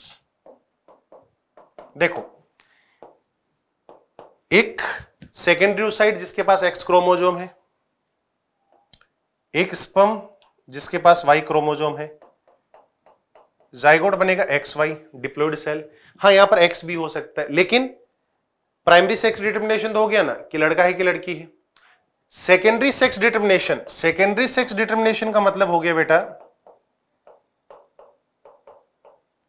Secondary sex determination का meaning हो गया formation of genital organs formation of genital organs because they are because they are secondary sexual organs they are secondary sexual organs जैसे कि mail की बात करते हैं तो उसमें जेनेटल ऑर्गन पेनिस वगैरह जो उसका बनना फीमेल में वल्वा बनना। So that is secondary sex determination primary sex determination यानी फ्यूजन गेमिट्स का कहाँ पर होता है? फेलोपियन ट्यूब के एम्पुला में।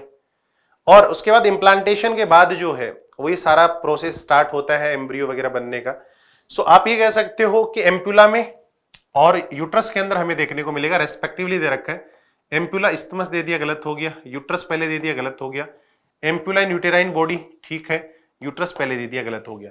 तो फ्यूजन कहाँ होता है गेमिट्स का? फ्यूजन होता है फेलोपियन ट्यूब में, वो प्राइमरी सेक्स डिटर्मिनेशन है। फिर गोनेट्स वगैरह का बनना sorry not gonads genital organs का बनना सेकेंडरी जो है, वो सेक्स डिटर्मिनेशन कहलाता है। आई होप क्वेश्चन अच्छा था, आपने सोल्व किया होगा अच्छी तरीके से। The first movement of the foetus and appearance of the hair on the head are usually observe during ये तो बेटा आपके लिए एक बहुत ही मतलब ये कह दो कि गिफ्टेड क्वेश्चन है। फिफ्थ मंथ ऑफ़ प्रेगनेंसी अपने बहुत अच्छी तरीके से आप लोगों ने इसको रट रखा है। नेक्स्ट है बेटा क्या? In a female reproductive tract infundibulum leads to मादा जनन पथ में इन फंडिबुलम किससे जुड़ता है? तो बेटा आप जानते हो कि इन फंडिबुलम जो होता है, वो एम्पुला से जुड़ता है। किससे जुड़ता है? एम्पुला से। इन फंडिबुलम जिसके एंड पर फिंगर लाइक प्रोजेक्शन होते हैं, फिर ये जाते हैं एम्पुला में और एम्पुला से ये इनफंडिबुलम, ये एम्पुला और यहाँ पर फिर यूट्रस से जुड़ता इस्तमस लेकिन आप जानते हैं कि एम्पुला वाइड होता है। एम्पुला कैसा होता है? वाइड ए नेरो एम्पुला गलत हो गया। A wider ampulla which is the site of fertilisation बिल्कुल सही है। ए नेरो इस्तमस चलो जी। स्टेटमेंट कौन सा हो गया बेटा? ऑप्शन कौन सा हो गया? सेकंड करेक्ट हो गया. Clear okay which of the following statement is incorrect कौन सा इनके अंदर से जो है वो गलत है? तो गलत की हमें यहाँ पर पहचान करनी है। बहुत ही आसान है गलत की पहचान करना क्या? यहाँ पर दिया गया बेटा क्या? कि male secondary sex organs are not directly involve in the gamete production male secondary sex organs जो होते हैं वो डायरेक्टली इन्वॉल्व नहीं होते हैं गेमिट प्रोडक्शन में। Male secondary sex organs are involve in the storage transport and maturation of gametes बिल्कुल सही बात है। Testicles is the site for temporary storage and maturity of spermatozoa seminal vesicle secrete in acidic no ये होता है बेटा alkaline कैसा होता है? एल्कालाइन तो ये गलत हो गया स्टेटमेंट तो स्टेटमेंट पहला, दूसरा, तीसरा सही है। चौथा गलत है और हमसे गलत ही पूछा गया गलत ही पूछा गया बिल्कुल गलत पूछा गया तो चौथा गलत हो गया क्योंकि एसिडिक नेचर दे रखा है सेमाइनल फ्लूड का, जबकि होना चाहिए कैसा? Alkaline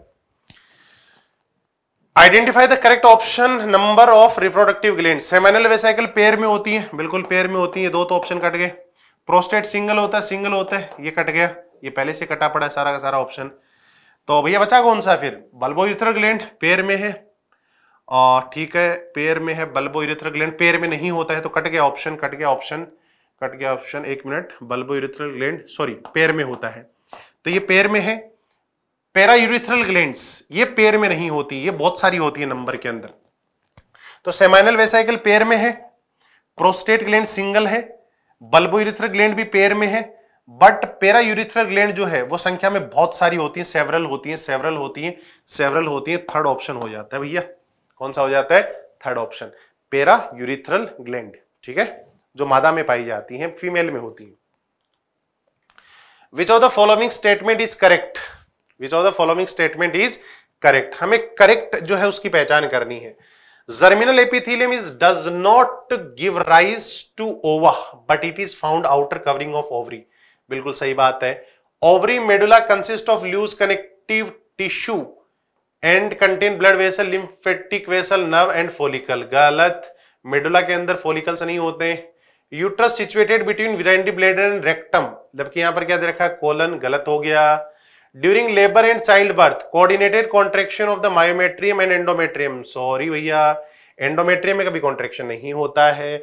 Option number first is correct बाकी इनकरेक्ट इनकरेक्ट इसकी वजह से ये हो गया, इसकी वजह से ये हो गया, इसकी वजह से ये हो गया। बोलो clear okay which of the following phase of the sexual reproduction organism could consider ये अपना क्वेश्चन नहीं है बोटनी का क्वेश्चन है बोटनी का क्वेश्चन है, यहाँ चलिए चलिए okay the oestrus cycle is a characteristic of तो बेटा एस्ट्रस साइकिल जो होता है, उस एस्ट्रस साइकिल की अगर हम बात करते हैं, मध्य चक्र की अगर हम बात करते हैं तो स्तनधारियों के अलावा जो है, जितनी भी अदर प्राइमेट फीमेल्स होती हैं, उनके अंदर आपको ये देखने को मिलता है। सेकंड ऑप्शन इज़ करेक्ट जैसे कि मंकीज हो गए एप्स हो गए ह्यूमन हो गया, उनमें मेस्ट्रल साइकिल होता है। और जो प्राइमेट्स हैं, उनके अंदर एस्ट्रस नेक्स्ट क्या दिया बेटा the mammary gland are paired structure that contain the glandular tissue and variable amount of fat the correct sequence of tissue involve in the synthesis and flow of milk तो बेटा milk बनता है mammary alveoli के अंदर। Mammary alveoli mammary alveoli mammary alveoli फिर mammary alveoli से निकलती है बेटा मेमरी डक्ट मेमरी एम्पुला दे दिया, गलत हो गया। Mammary duct mammary duct mammary duct mammary duct जो होती है वो बड़ी होकर बनाती है mammary ampulla. So, mammary ampulla, okay, mammary ampulla mammary ampulla mammary ampulla. ये तो गलत हो गया भैया। मेमरी एम्पुला हो गया, ठीक है। ये मेमरी एम्पुला दे रखा है, ओके। फिर आती है lactiferous duct. Lactiferous duct, mammary duct तो ये गलत हो गया। फ़र्स्ट, थर्ड और फोर्थ गलत हो गया। और सेकंड ऑप्शन जो है वो करेक्ट हो गया। So mammary alveoli mammary alveoli से मेमरी डक्ट, फिर मेमरी एम्पुला और मेमरी एम्पुला से lactiferous duct. So second option is correct okay next देखें बेटा। Which one of the following is correct match ये बेटा वल्वा के बारे में बात हुई है। Mons pubis labia majora labia minora के बारे में यहाँ पर डिस्कशन किया गया है। क्या डिस्कशन हुआ है? क्या आपसे पूछा गया? देखें जरा। Which of the following is correct of match mons pubis question of fatty tissue covered by skin and pubic hair and surround the vaginal orifice गलत हो गया। ये वेजाइनल ऑरिफिस को कवर नहीं करता mons pubis labia majora fleshy fold of tissue which extend down from the mons pubis and surround the labia minora बिल्कुल सही बात है। Labia minora paired fold of tissue under the labia majora homologous to scrotum in male गलत हो गया। Clitoris a tiny finger like structure which lies the upper junction of two labia minora above the urethral opening it is analogous to penis गलत हो गया। Statement कौन सा सही है? स्टेटमेंट जो है या मैचिंग जो है वो सेकंड करेक्ट है बेटा। ये एनालोगस और होमोलोगस की वजह से गलत होता जा रहा है। नेक्स्ट देखें। ओके नेक्स्ट में क्या दे दिया भैया? ये क्या दे दिया? Find the correct matching correct matching correct matching पहचानी है हमें। तो करेक्ट मैचिंग में क्या है? ये डी है। ये बी है, ये सी है, ये ए है। देखें जरा क्या दे रखा है। डी ई ई होगा शायद ये ये ई e होगा। ठीक है, क्या होगा? E e. तो ए की बात करते हैं बेटा उगोनिया है ये। क्या है? उगोनिया थोड़ा सा क्लियर नहीं है इमेज ए जो है बेटा, वो प्राइमरी ऊसाइट है। प्राइमरी ऊसाइट बी जो है बेटा, वो बी जो है बी जो है बी जो है वो सेकेंडरी ऊसाइट है। सी जो है सी जो है second polar body second polar body इसका मतलब सी हो गया बेटा क्या? ओवम सी क्या हो गया? ओवम डी जो है, वो मियोसिस फ़र्स्ट है। मियोसिस फ़र्स्ट है। चलिए इसके अकॉर्डिंग चूज़ करते हैं ऑप्शन को। थोड़ा इमेज क्लियर नहीं है तो आपको दिक्कत हो रही होगी समझने में। तो ए जो था वो प्राइमरी उस साइड था। गलत हो गया। बी जो था वो सेकेंडरी उस साइड था राइट ठीक है। सी जो था वो ओवम था राइट ये गलत हो गया। डी जो था वो फ़र्स्ट म्योटिक डिवीज़न था राइट ठीक है। ई e जो था वो ई e स्टार्टिंग में था उगोनिया से। नीचे की तरफ़ प्राइमरी ऊसाइड बनना तो वो माइटोटिक डिफ्रेंशिएशन था, समसूत्री विभेदन था। सेकंड ऑप्शन करेक्ट है बेटा इसमें।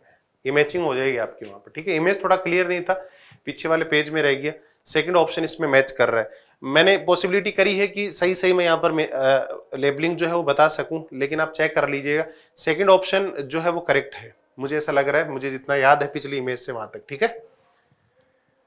Okay the cavity contain in Graafian follicle is Graafian follicle के अंदर केविटी को क्या कहते हैं? एंट्रम कहते हैं। ये तो बहुत आसान क्वेश्चन आपके लिए। चलिए जी। Germ cell in female gonad and male gonad begin undergoing meiosis simultaneously. What will be the ratio of ova and sperm? 1 is to 4 1 is to 4 female में एक बनता है और मेल के अंदर जो है एक प्राइमरी स्पर्मेटोसाइट से कितने स्पर्मेटो बन, जोआ बनते हैं बेटा? चार बनते हैं।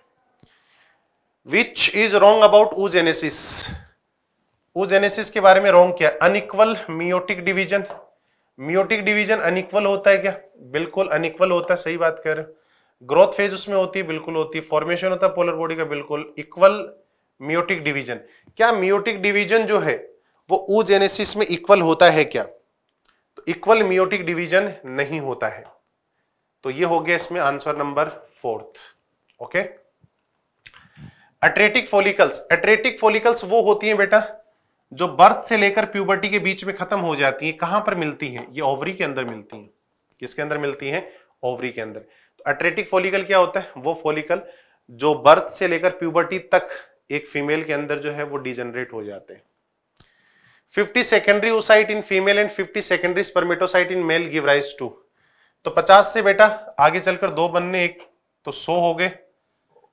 और 50 से 50 तो फ़र्स्ट ऑप्शन हो गया। ठीक है? क्लियर चले आगे। Which one develop from endoderm endoderm से क्या बनता है? नर्वस सिस्टम एक्टोडर्म से बनता है बेटा। कनेक्टिव टिश्यू मिजोडम से बनता है। थाइमस स्पाइनल कोड एक्टोडम से बनता है बेटा। एंडोडम से कौन सा बचा? फिर फोर्थ बचा। क्योंकि एंडोडम से बनने वाला है मिजोडम से बनने वाला है, ये एक्टोडम से बनने वाला है। समझ रहे हो बात को? तो option number fourth is correct read the following statement and find out the incorrect statement androgens are produce by Sertoli cell गलत बात है. Spermatozoa get nutrition from Sertoli cell बिल्कुल सही बात है. Leydig cells are found in ovary नहीं, वो तो टेस्टिस में होती है. लिडिक सेल सिंथेसिस एंड्रोजेंस बिल्कुल सही बात है.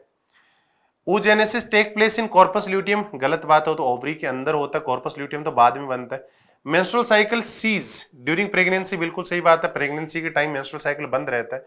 परजेंस और absence of hymen is not a reliable indicator of virginity और सेक्सुअल एक्सपीरियंस बिल्कुल सही बात है। तो क्या बोला गया बेटा? इनकरेक्ट बताना आपको। इनकरेक्ट में ए है एक तो। सी है और ई e है। A C E first option कौन सा ऑप्शन फ़र्स्ट ऑप्शन नेक्स्ट देखें। हाइल्यूरोनिडेज बेटा एसिड है हाइल्यूरोनिक एसिड और ये एंजाइम है एक। तो जो फोलिकल्स होती हैं बेटा, उन फोलिकल्स के जो सेल्स हैं, उनके बीच में हाइल्यूरोनिक एसिड होता है। हाइल्यूरोनिक एसिड और हाइल्यूरोनिक एसिड जो होता है, उसको डिजोल्व करने का काम है हाइल्यूरोनिडेज का। एक्रोसोमल रिएक्शन होती है। तो फ़र्स्ट आ गया। कॉर्पस ल्यूटियम जो होता है बेटा, उस कॉर्पस ल्यूटियम की बात करें तो प्रोजेस्टिरोन रिलीज़ करता है।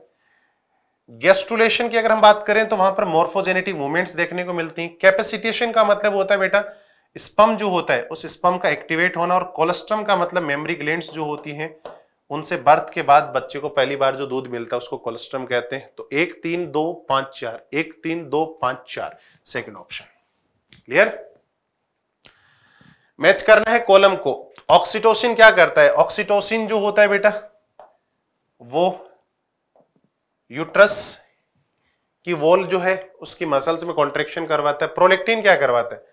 प्रोलेक्टिन जो है, वो लेक्टेशनल प्रोसेस के लिए दूध बनाने का काम करता है मदर की मेमोरी ग्लैंड्स में तो आर आ जाएगा। ल्यूटेनाइजिंग हार्मोन का क्या होता है? तो ल्यूटेनाइजिंग हार्मोन की अगर हम बात करते हैं बेटा तो वो ओवुलेशन को स्टमुलेट करता है। प्रोजेस्टिरोन हार्मोन क्या करता है? वो प्रेगनेंसी को मेंटेन करता है। तो S R P Q? S R P Q? Clear okay next बात करते हैं बेटा। In human first cleavage of the zygote is holoblastic मानव के अंदर प्रथम विदलन जो होता है बेटा, वो पूर्ण भंजी होता है। Meridional began about begins about 24 आउट आफ्टर फर्टिलाइजेशन बिल्कुल सही बात है। पहला क्लीवेज होलोब्लास्टिक होता है। मेरिडियोनल होता है क्लीवेज ठीक है? और 24 घंटे बाद में होता है निषेचन के। बिल्कुल सही बात है। The morula is still surrounded by the zona pellucida and is secreted by blastomeres वो ब्लास्टोमियर्स के थ्रू जो है वो सिक्रेट किया जाता है। वो अभी भी उसके चारों तरफ़ बना हुआ है। कौन? Zona pellucida. तो जोना पेलिसिडा जो है वो ब्लास्टोमियर्स के थ्रू बेटा सिक्रेट नहीं होता है। जोना पेलिसिडा किसके थ्रू सिक्रेट नहीं होता है? ब्लास्टोमियर्स के थ्रू। हटाइए इसको। तो ये गलत हो गया तो ए सही है आर गलत है। ए सही है आर गलत है। थर्ड ऑप्शन आपका आंसर बन जाता है। नेक्स्ट देखें। ओके सो ये था बेटा आपका पार्ट टेस्ट फाइव जो है। उसका जुलोजी वाले सेक्शन का सॉल्यूशन आपको जो है वो अच्छा स्कोर मिला होगा मे बी नेक्स्ट पेपर के लिए अच्छे से मेहनत कीजिएगा। Good for luck hello student myself Rahul Mishra team botany C L C Sikar आज हम यहाँ डिस्कस करेंगे डायमंड टेस्ट सीरीज़ में पार्ट टेस्ट फिफ्थ के से रिलेटेड क्वेश्चन जिसमें मैं यहाँ बॉटनी से रिलेटेड क्वेश्चन को यहाँ डिस्कस करूँगा। तो आइए देखते हैं बॉटनी से रिलेटेड क्वेश्चन जो हमारा टॉपिक है, वो है reproduction in organism and sexual reproduction in flowering plants तो देखिए इसमें फ़र्स्ट क्वेश्चन 64 नंबर लैंगिक जनन की क्रिया विधि नए रूप भेदों के निर्माण को सक्षम बनाता है, यानी कि sexual mode of reproduction enables creation of new variants so that यानी कि न्यू वेरिएंट्स जो बनते हैं, वो क्यों बनते हैं? तो देखिए विभिन्न पर्यावरणीय तनावों के खिलाफ जीवों में सहनशीलता कम हो जाए, इसीलिए बनते हैं नए रूप भेद गलत है, जबकि सेक्सुअल रिप्रोडक्शन के टाइम पर जो प्रोजेनी बनती है या नए नए जो आप कह सकते हो वेरिएंट्स बनते हैं, वो पर्यावरणीय तनावों को सहन कर सकते हैं। लेकिन यहाँ क्या लग रखा है? सहनशीलता कम हो जाए, गलत। जीव की उत्तर जीविता दर कम हो जाए, गलत है। बल्कि यहाँ पर न्यू वेरिएशन जब बनते हैं तो जीव की उत्तर जीविता बढ़ जाती है।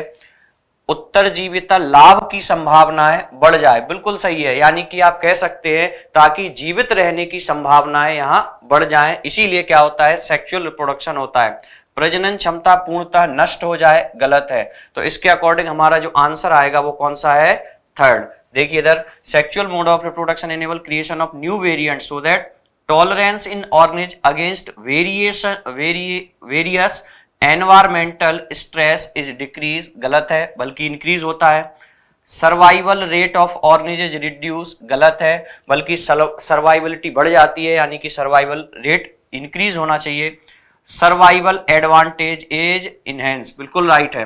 Reproductive capability is completely destroyed गलत है। मतलब रिप्रोडक्टिव कैपेबिलिटी डिस्ट्रॉय होने के लिए सेक्सुअल रिप्रोडक्शन होता है, ये तो एकदम गलत है। तो आंसर क्या आ जाएगा इस क्वेश्चन का? थर्ड चलिए नेक्स्ट क्वेश्चन डिस्कस करते हैं। 64 सॉरी 65 देखिए।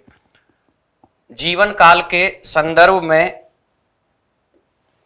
सही कथन को चिन्हित कीजिए। कौए और तोता आकार में लगभग समान होते हैं तथा इसका जीवन काल भी समान होता है। गलत है। अगर मैं कौए के जीवन काल की बात करूँ तो कितना होता है? पंद्रह वर्ष फिफ्टीन ईयर्स जबकि यहाँ पर तोते के जीवन काल की बात करूँ तो कितना होता है? अबाउट वन फोर्टी ईयर्स कितना होता है? वन फोर्टी ईयर्स अब देखिए। तो ये कैसा हो गया? गलत है, क्योंकि समान नहीं है। अगला देखिए, पीपल के वृक्ष की तुलना में आम के वृक्ष का जीवन काल छोटा होता है। ये सही स्टेटमेंट है।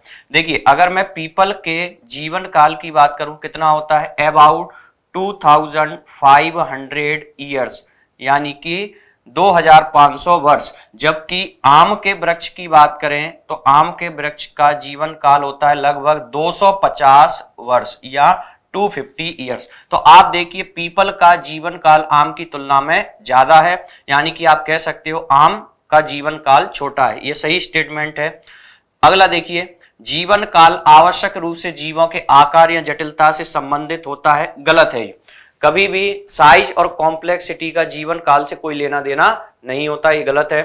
बहुकोशिकीय जीव अमर होते हैं, गलत है। बल्कि यूनिसेल्युलर जीवों को क्या माना जाता है? अमर माना जाता है। तो इसका करेक्ट जो आंसर आएगा वो है सेकंड देखिए इधर mark the correct statement with respect to life span पहला देखिए crow and parrot are almost equal in size ठीक है?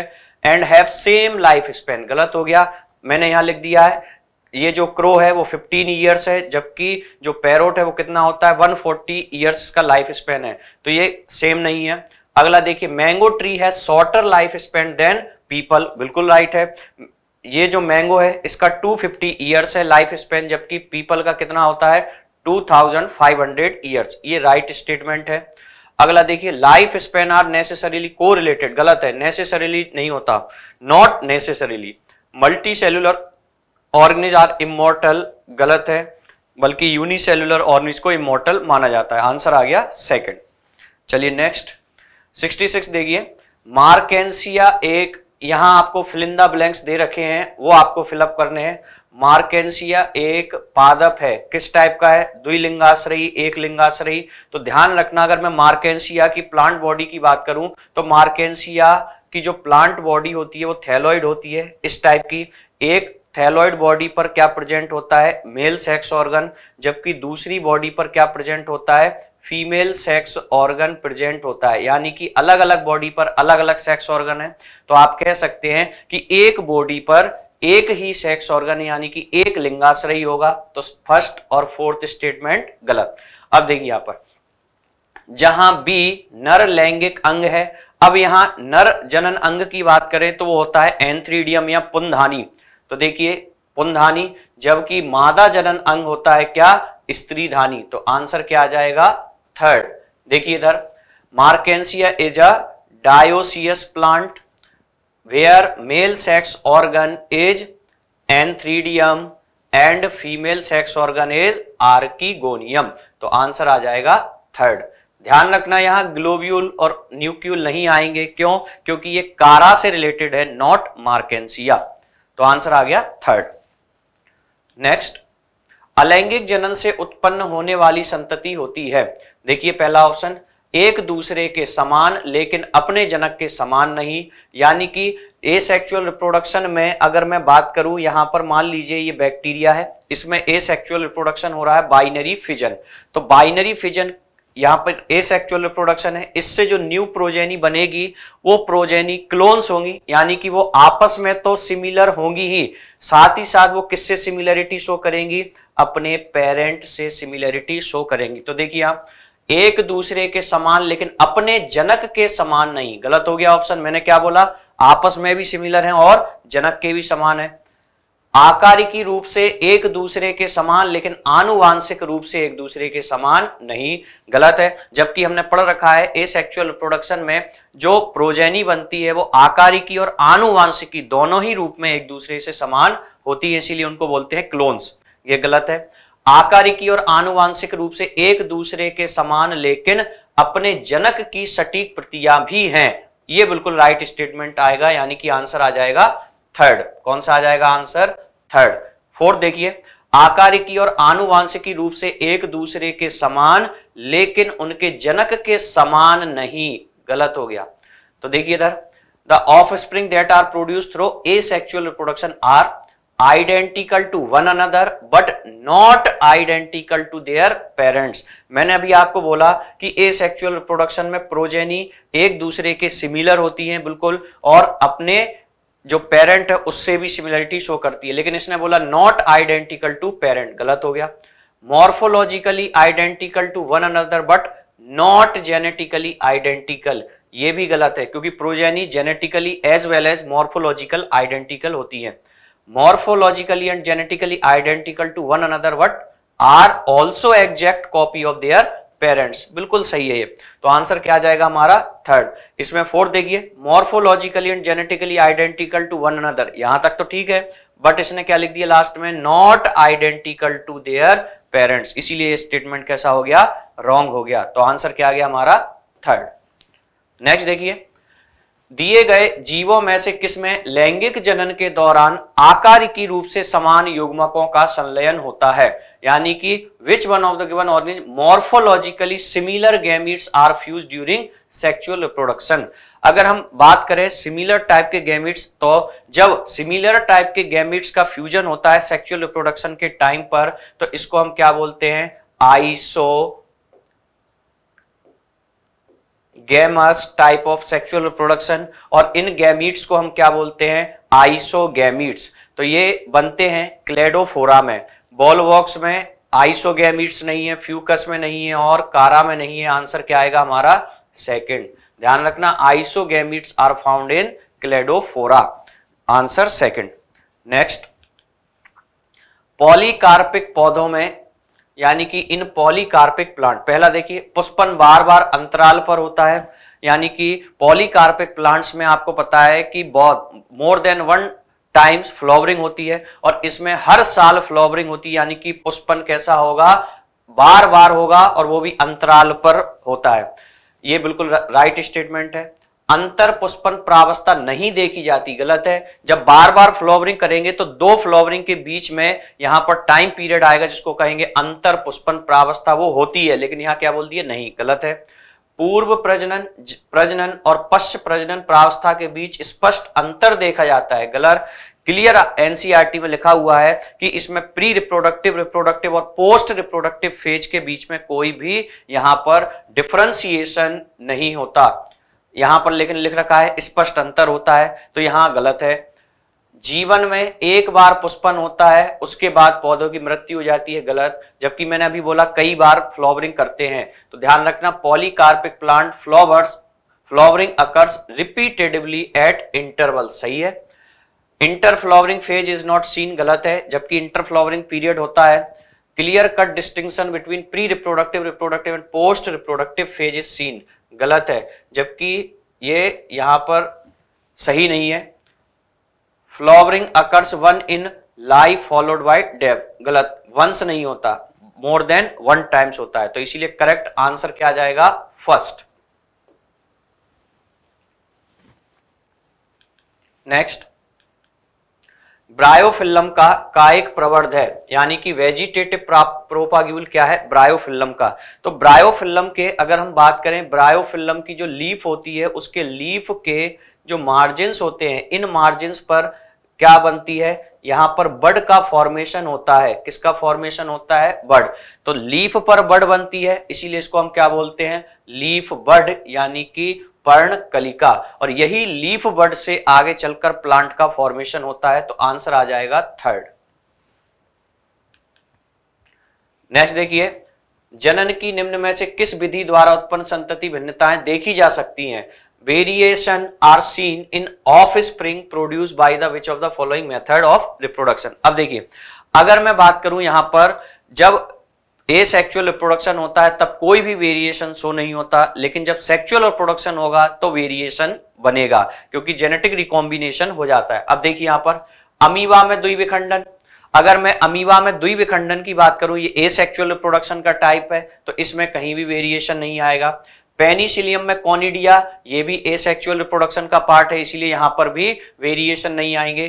केले का प्रकंद अगर प्रकंद की हम बात करें राइजोम ऑफ़ बनाना तो जब राइजोम का फॉर्मेशन राइजोम से, या फिर राइजोम से जब न्यू प्लांट बनता है, तब भी यहाँ पर क्या होगा?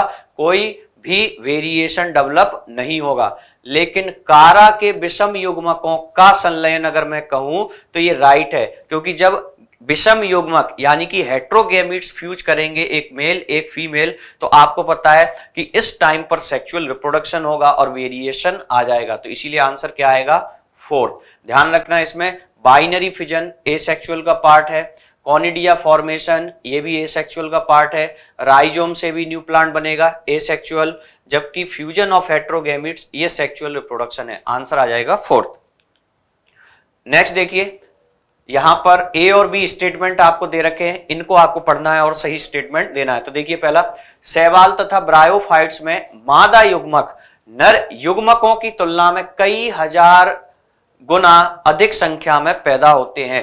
तो ध्यान रखना, ये गलत स्टेटमेंट दे दिया। क्योंकि सैवाल और ब्रायोफाइट्स में बात करें तो मादा युग्मक, नर युग्मकों की तुलना में कई हज़ार गुना निर्मित नहीं होते, बल्कि उल्टा होता है। मेल गैमीट फीमेल गैमीट की तुलना में बहुत लार्ज अमाउंट में बनते हैं। तो ये गलत स्टेटमेंट है। अगला देखिए। सैवाल और ब्रायोफाइट में मादा युग्मक, नर युग्मक के पास बाह्य माध्यम द्वारा स्थानांतरित होते हैं। यह भी गलत स्टेटमेंट दे दिया।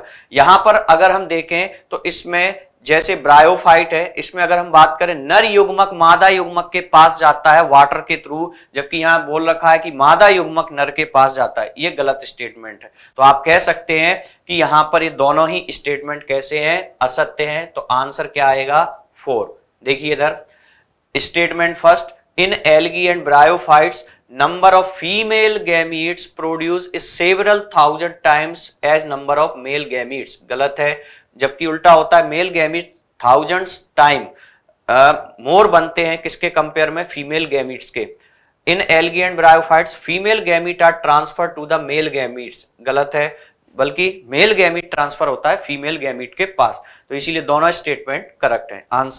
इनकरेक्ट है। आंसर फोर नेक्स्ट देखिए। किस एक को छोड़कर सभी दिए गए पादप अपने जीवन में केवल एक बार पुष्पन करते हैं। यानी कि इनमें से तीन एक बार पुष्पन करेंगे प्लांट बल्कि एक प्लांट ऐसा है जो more than one times flowering करता है। तो देखिए all given plants flower only once in its life except one वो हमें सिलेक्ट करना है। अगर हम ट्रिटिकम एस्टिवम की बात करें तो ये ट्रिटिकम एस्टिवम नहीं है इस क्वेश्चन का आंसर क्यों? क्योंकि ट्रिटिकम एस्टिवम यहाँ पर मोनोकार्पिक प्लांट है। कैसा है? मोनोकार्पिक अगर मैं स्ट्रोविलेंथस कुंथियाना की बात करूँ, ये भी मोनोकार्पिक प्लांट है। अपने लाइफ में ओनली सिंगल बार फ्लावरिंग करता है। मैंजी फेरा इंडिका इस क्वेश्चन का आंसर होगा। क्यों? क्योंकि ये पॉलीकार्पिक प्लांट है। कैसा है ये? पॉलीकार्पिक और जो more than one times flowering करता है। चुकंदर की बात करें, ये बाइनियल प्लांट है, द्विवर्षीय पादप है, लेकिन ये पुष्पन एक बार करता है तो आप कह सकते हैं ये भी इसका आंसर नहीं है। तो आंसर क्या आ गया? थर्ड ध्यान रखना, ये ट्रिटिकम एस्टिवम मोनोकार्पिक है स्ट्रोविलेंथस कुंथियाना मोनोकार्पिक है सुगर बीट मोनोकार्पिक है, जबकि Mangifera indica is polycarpic तो आंसर आ जाएगा थर्ड 74 देखिए कच्चे नारियल के पानी के बारे में क्या गलत है? यानी कि जो टेंडर कोकोनट वाटर होता है, उस टेंडर कोकोनट का जो वाटर है, उसके बारे में क्या इनकरेक्ट है? देखिए पहला, यह तरल भ्रूण पोष है, बिल्कुल सही है। यहाँ पर यह कैसा होता है? लिक्विड एंडोस्पर्म होता है। यह मुक्त केंद्र की यह भ्रूण पोष है, सही है। यह कैसा होता है? फ्री न्यूक्लियर एंडोस्पर्म होता है। परिपक्वता पर यह कोशिकीय हो जाता है यह भी राइट है एट मैच्योरिटी बिकम सेल्यूलर बिल्कुल राइट है।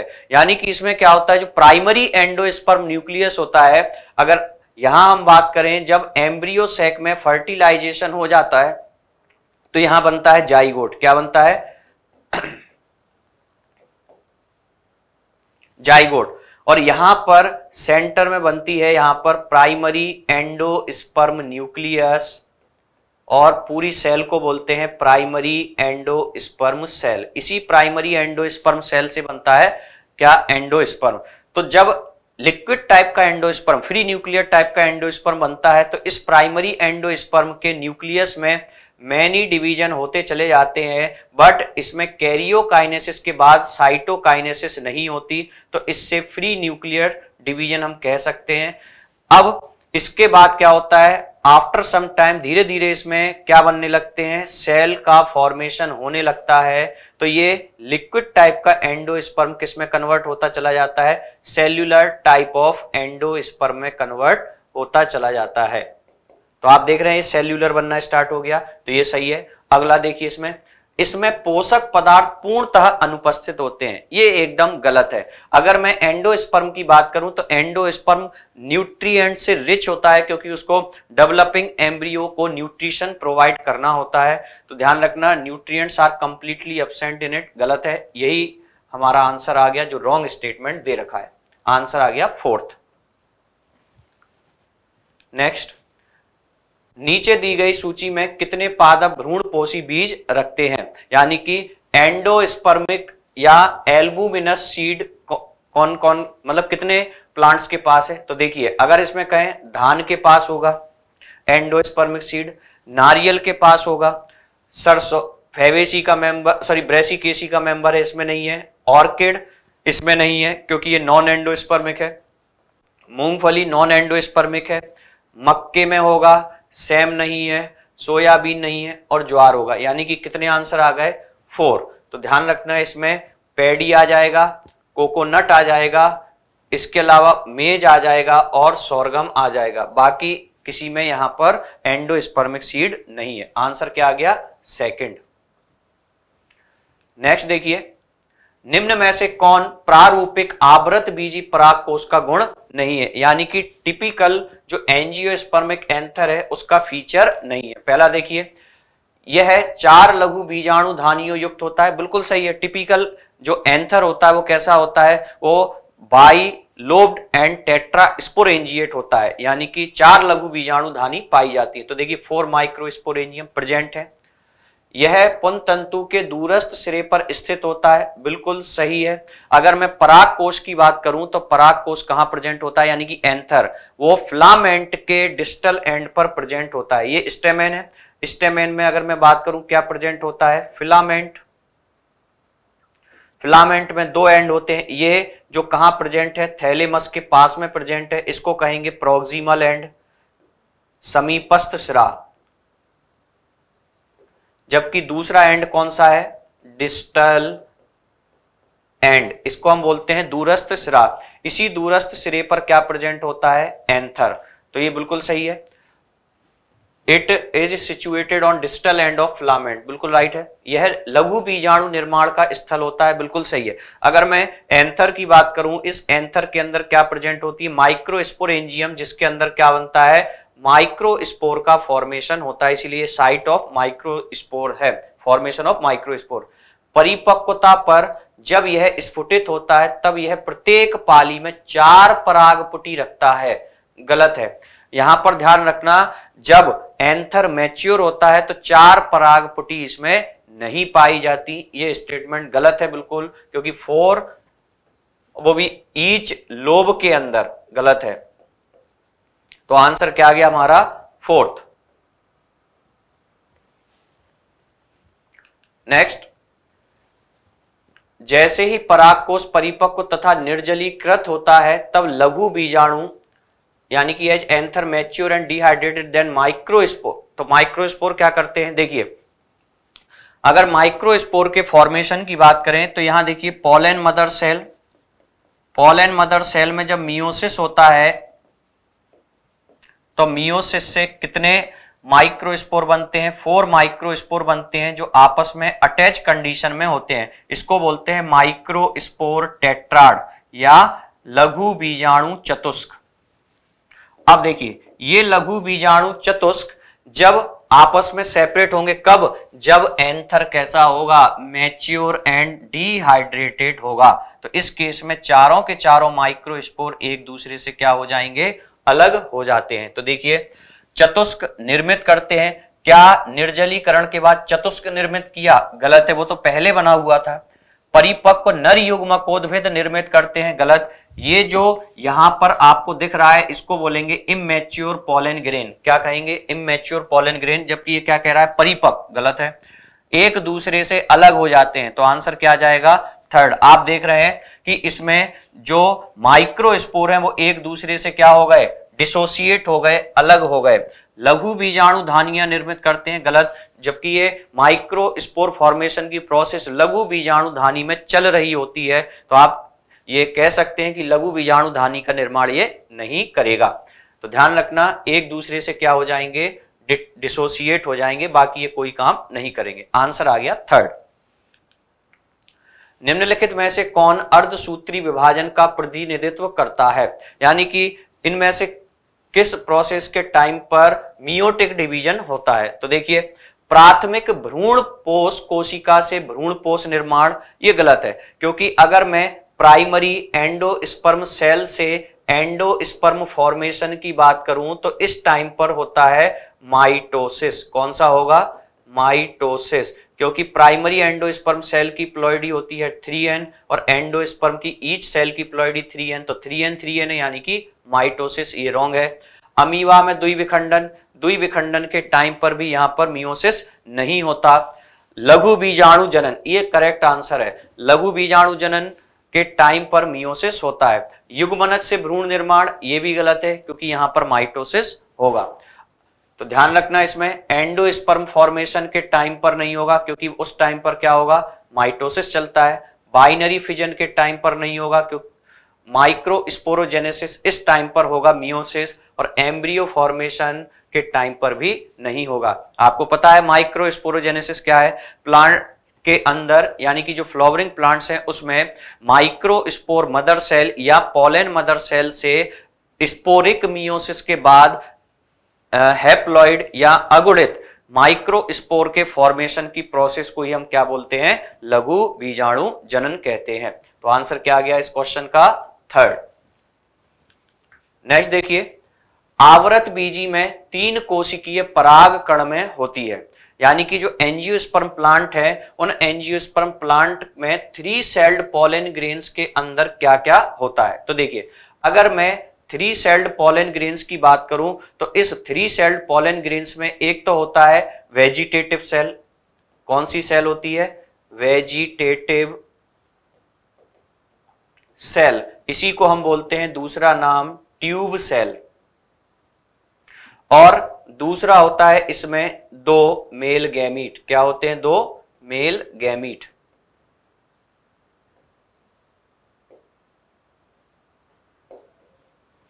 अब देखिए इधर, एक कायिक कोशिका, ठीक है, एक कायिक कोशिका, और दो नरयुग्मक, और दो नरयुग्मक, बिल्कुल सही है, पहले ही आंसर आ गया इसका, फिर भी और देखिए, दो कायिक कोशिकाएँ, गलत है, कितनी कायिक कोशिका है, एक एक कायिक कोशिका और दो जनन कोशिका, यहाँ कोई जनन कोशिका नहीं है, बल्कि क्या है नर युग्मक है, तीन कायिक कोशिका, गलत है, आंसर क्या आ गया, फ़र्स्ट, देखिए, a vegetative cell and two male gametes, इसके अलावा यहाँ कोई भी सेल नहीं है।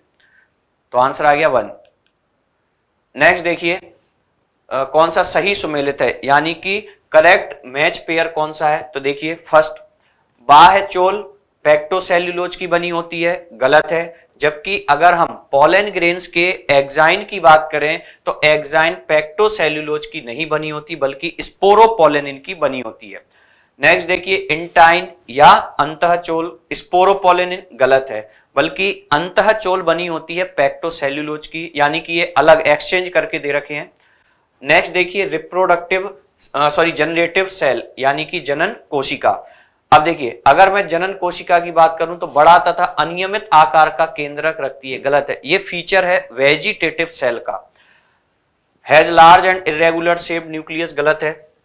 कायिक कोशिका या वेजिटेटिव सेल प्रचुर मात्रा में खाद्य भंडार रखती है। ये बिल्कुल सही स्टेटमेंट दे रखा है करेक्ट मैचिंग दे रखी है आंसर आ जाएगा फोर तो ध्यान रखना, ये जो वेजिटेटिव सेल है, इसमें लार्ज अमाउंट में फ़ूड मटेरियल स्टोर होते हैं। तो ये बिल्कुल सही स्टेटमेंट सही आंसर आ गया हमारा फोर्थ नेक्स्ट देखिए एंजियोस्पर्म में गुरु बीजाणु धानी को सामान्यतः कहा जाता है। यानी कि अगर एंजियोस्पर्म में जो मेगा स्पोरेंजियम की बात करें तो इसका एक और नाम है, इसको बोलते हैं ओब्यूल या बीजांड। तो आंसर क्या आ जाएगा? फ़र्स्ट। निम्न में से कौन सा बीजांड का आधारीय भाग है? Basal part. देखिए, अगर मैं बेसल पार्ट की बात करूँ तो वो होता है चलाजल एंड या चलाजा। तो इसमें देखिए आंसर क्या आ जाएगा? फोर्थ, निभाग।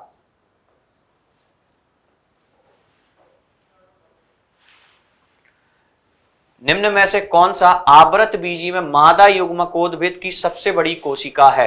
यानी कि फीमेल गैमिटोफाइट की सबसे बड़ी कोशिका एंजियोस्पर्म में कौन सी है? तो देखिए, अगर मैं ओब्यूल का स्ट्रक्चर बनाऊँ, जैसे मान लीजिए ये ओब्यूल का स्ट्रक्चर है।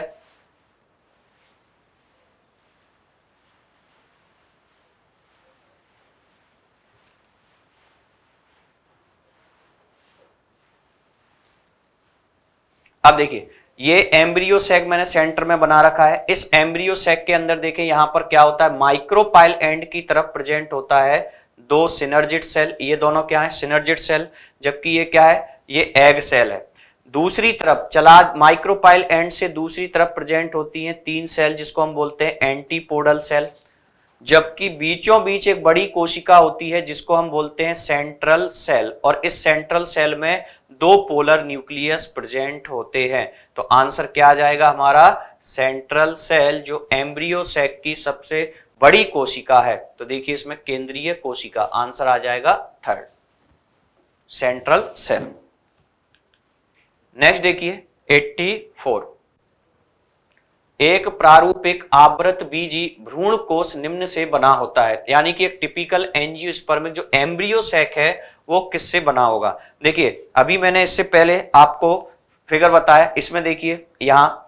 अगर मैं बात करूँ तो ये एम्ब्रियो सेक कितने सेल्ड स्ट्रक्चर है? एक, दो, तीन, चार, पाँच, छह और एक बड़ी कोशिका सात। यानी कि सेवन सेल्ड या सात कोशिकीय संरचना है। लेकिन इसमें केंद्रक कितने हैं? एक, दो, तीन चार, पाँच, छह, सात, आठ। तो इनको हम कैसे लिखते हैं? तो इस माइक्रोपाइल एंड पर कितने केंद्रक हैं? तीन, और दो सेंटर में, और फिर दूसरे एंड पर कितने हैं? तीन न्यूक्लियस तो देखिए अब, पहला ऑप्शन देखिए। सात कोशिकीय बिल्कुल सही है, जबकि जिनमें केंद्रक तीन, दो, तीन व्यवस्था में व्यवस्थित होते हैं, बिल्कुल सही है। तो आप कह सकते हैं कि टिपिकल एंजियोस्पर्मिक जो एम्ब्रियो सेक है, वो सेवन सेल्ड है, और इसमें nucleus three plus two plus three के अकॉर्डिंग अरेंज होते हैं। एट सेल्ड गलत है एट सेल्ड नहीं होता embryo sac eight celled eight celled गलत है। तो आंसर क्या आ जाएगा हमारा? फ़र्स्ट 85 देखिए। बीजांड द्वारीय श्रेय पर सहायक कोशिका, विशेष कोशिकीय स्थूलन रखती है जिसे कहते हैं। देखिए, अगर मैं एम्ब्रियो सैक के स्ट्रक्चर की बात करूँ तो एम्ब्रियो सैक के स्ट्रक्चर में यहाँ पर क्या प्रेजेंट होता है? सिनर्जिट सेल्स प्रेजेंट होती हैं। ये बीच में यहाँ सेंट्रल, ये एक सेल है। तो इस सिनर्जिट सेल्स में क्या होता है? यहाँ पर सेल्यूलर थिकनिंग होती है। इस थिकनिंग को हम क्या बोलते हैं? इसको बोलते हैं यहाँ पर फिलीफॉर्म एपरेटस या तंतु रूप समुच्चय। तो आंसर क्या आ जाएगा? सेकंड और यही फिलीफॉर्म एपरेटस पोलन ट्यूब को वन ऑफ़ द सिनर्जिड यानी किसी एक सिनर्जिड सेल में एंट्री के लिए क्या करता है? दिशा निर्देशित करता है। तो आंसर आ गया सेकंड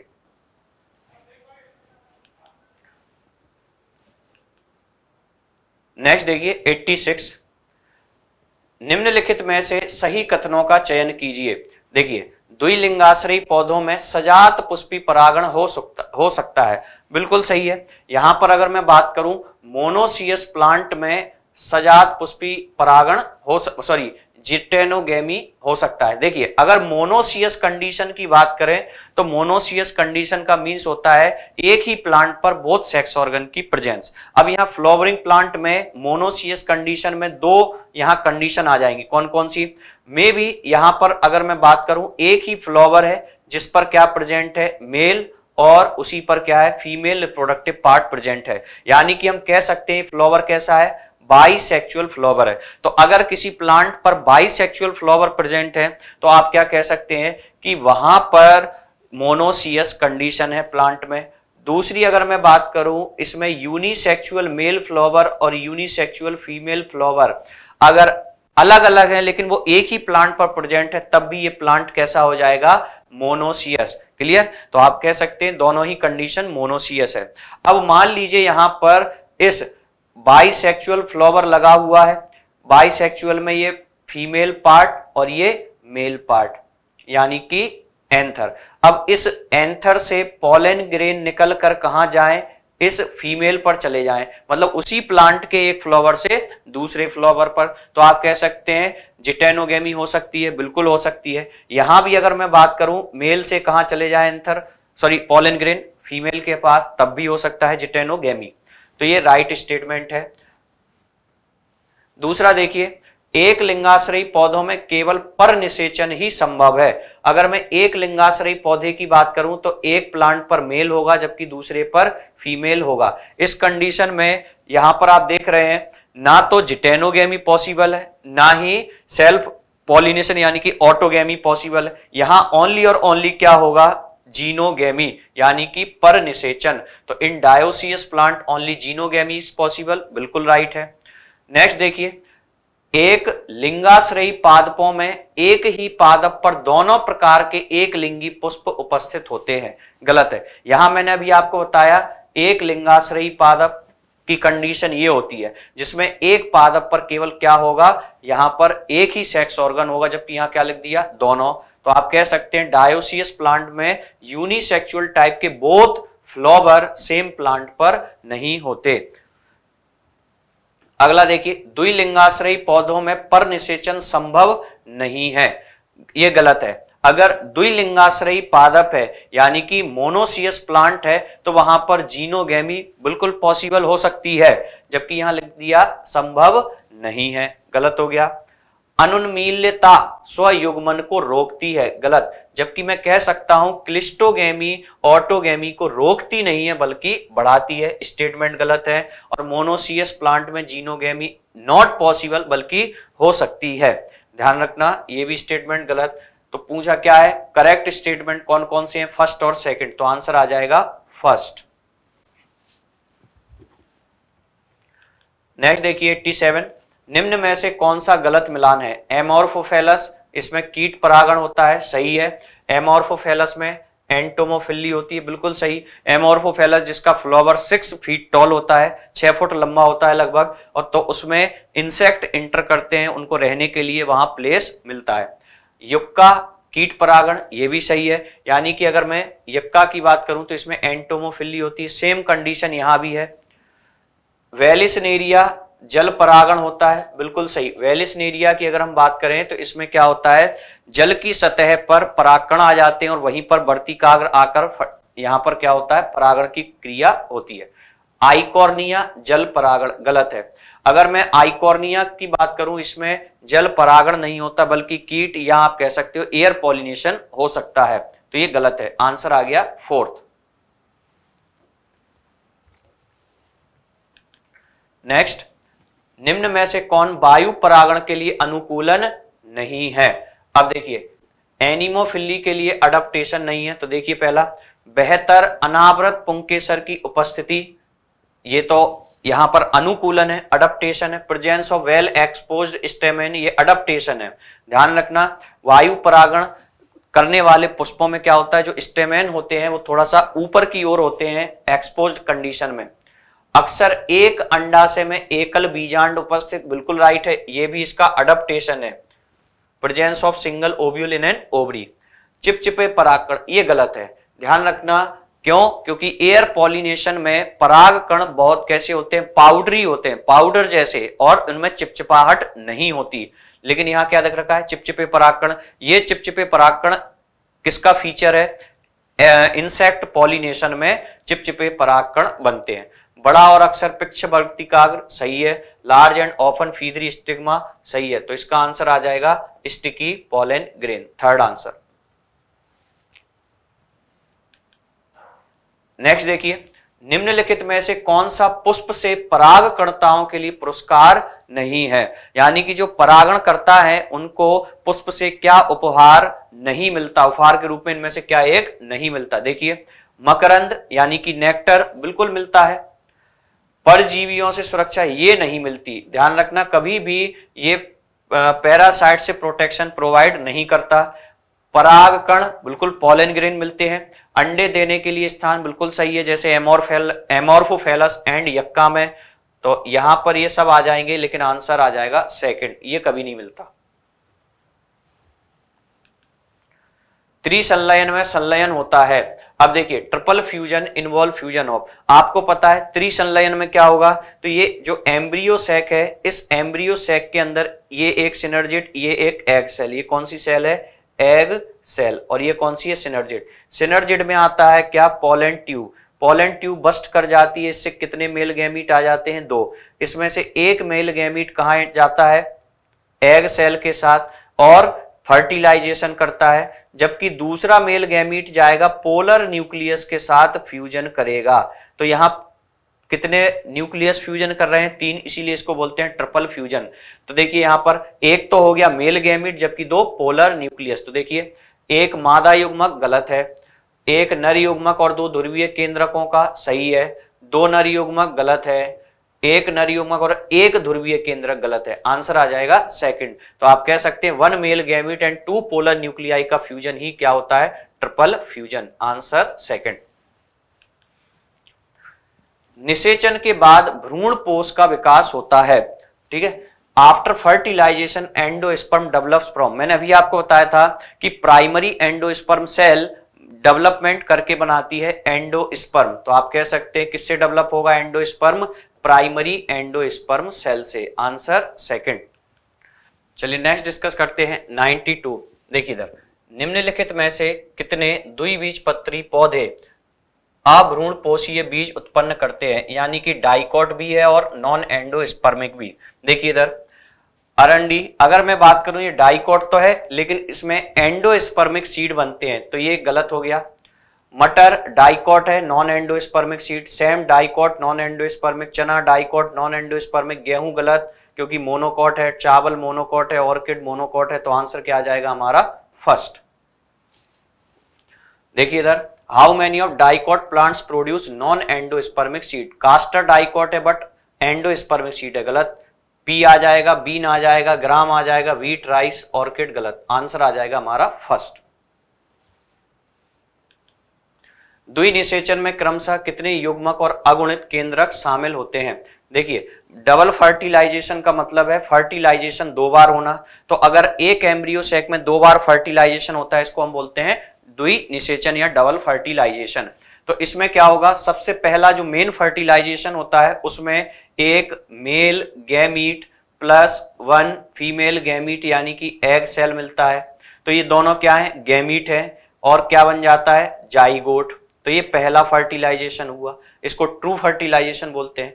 दूसरे टाइप में क्या होगा? Male gamete plus two polar nuclei participate करेंगी। और क्या बन जाएगा? तीन न्यूक्लियस हैं तो इससे बन जाएगा प्राइमरी एंडोस्पर्म सेल अब देखिए इधर। कितने युग्मक बोला है? तो युग्मक कितने हो गए डबल फर्टिलाइजेशन में? मेल एग और ये मेल कितने गैमीट हो गए? तीन। नेक्स्ट क्या पूछा है? अगुणित केंद्रक कितने हो गए?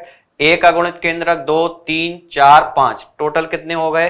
हेप्लॉइड न्यूक्लियस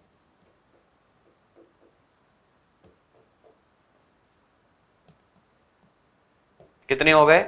पाँच। तो देखिए इधर। दो युग्मक गलत है। दो युग्मक गलत है। तीन युग्मक और पाँच केंद्रक, सही है। आंसर आ जाएगा थर्ड तीन युग्मक और तीन केंद्रक गलत है। आंसर क्या आ जाएगा? Third three gametes and five nuclei next देखिए आवृत बीजी भ्रूण में कितने बीज पत्र होते हैं?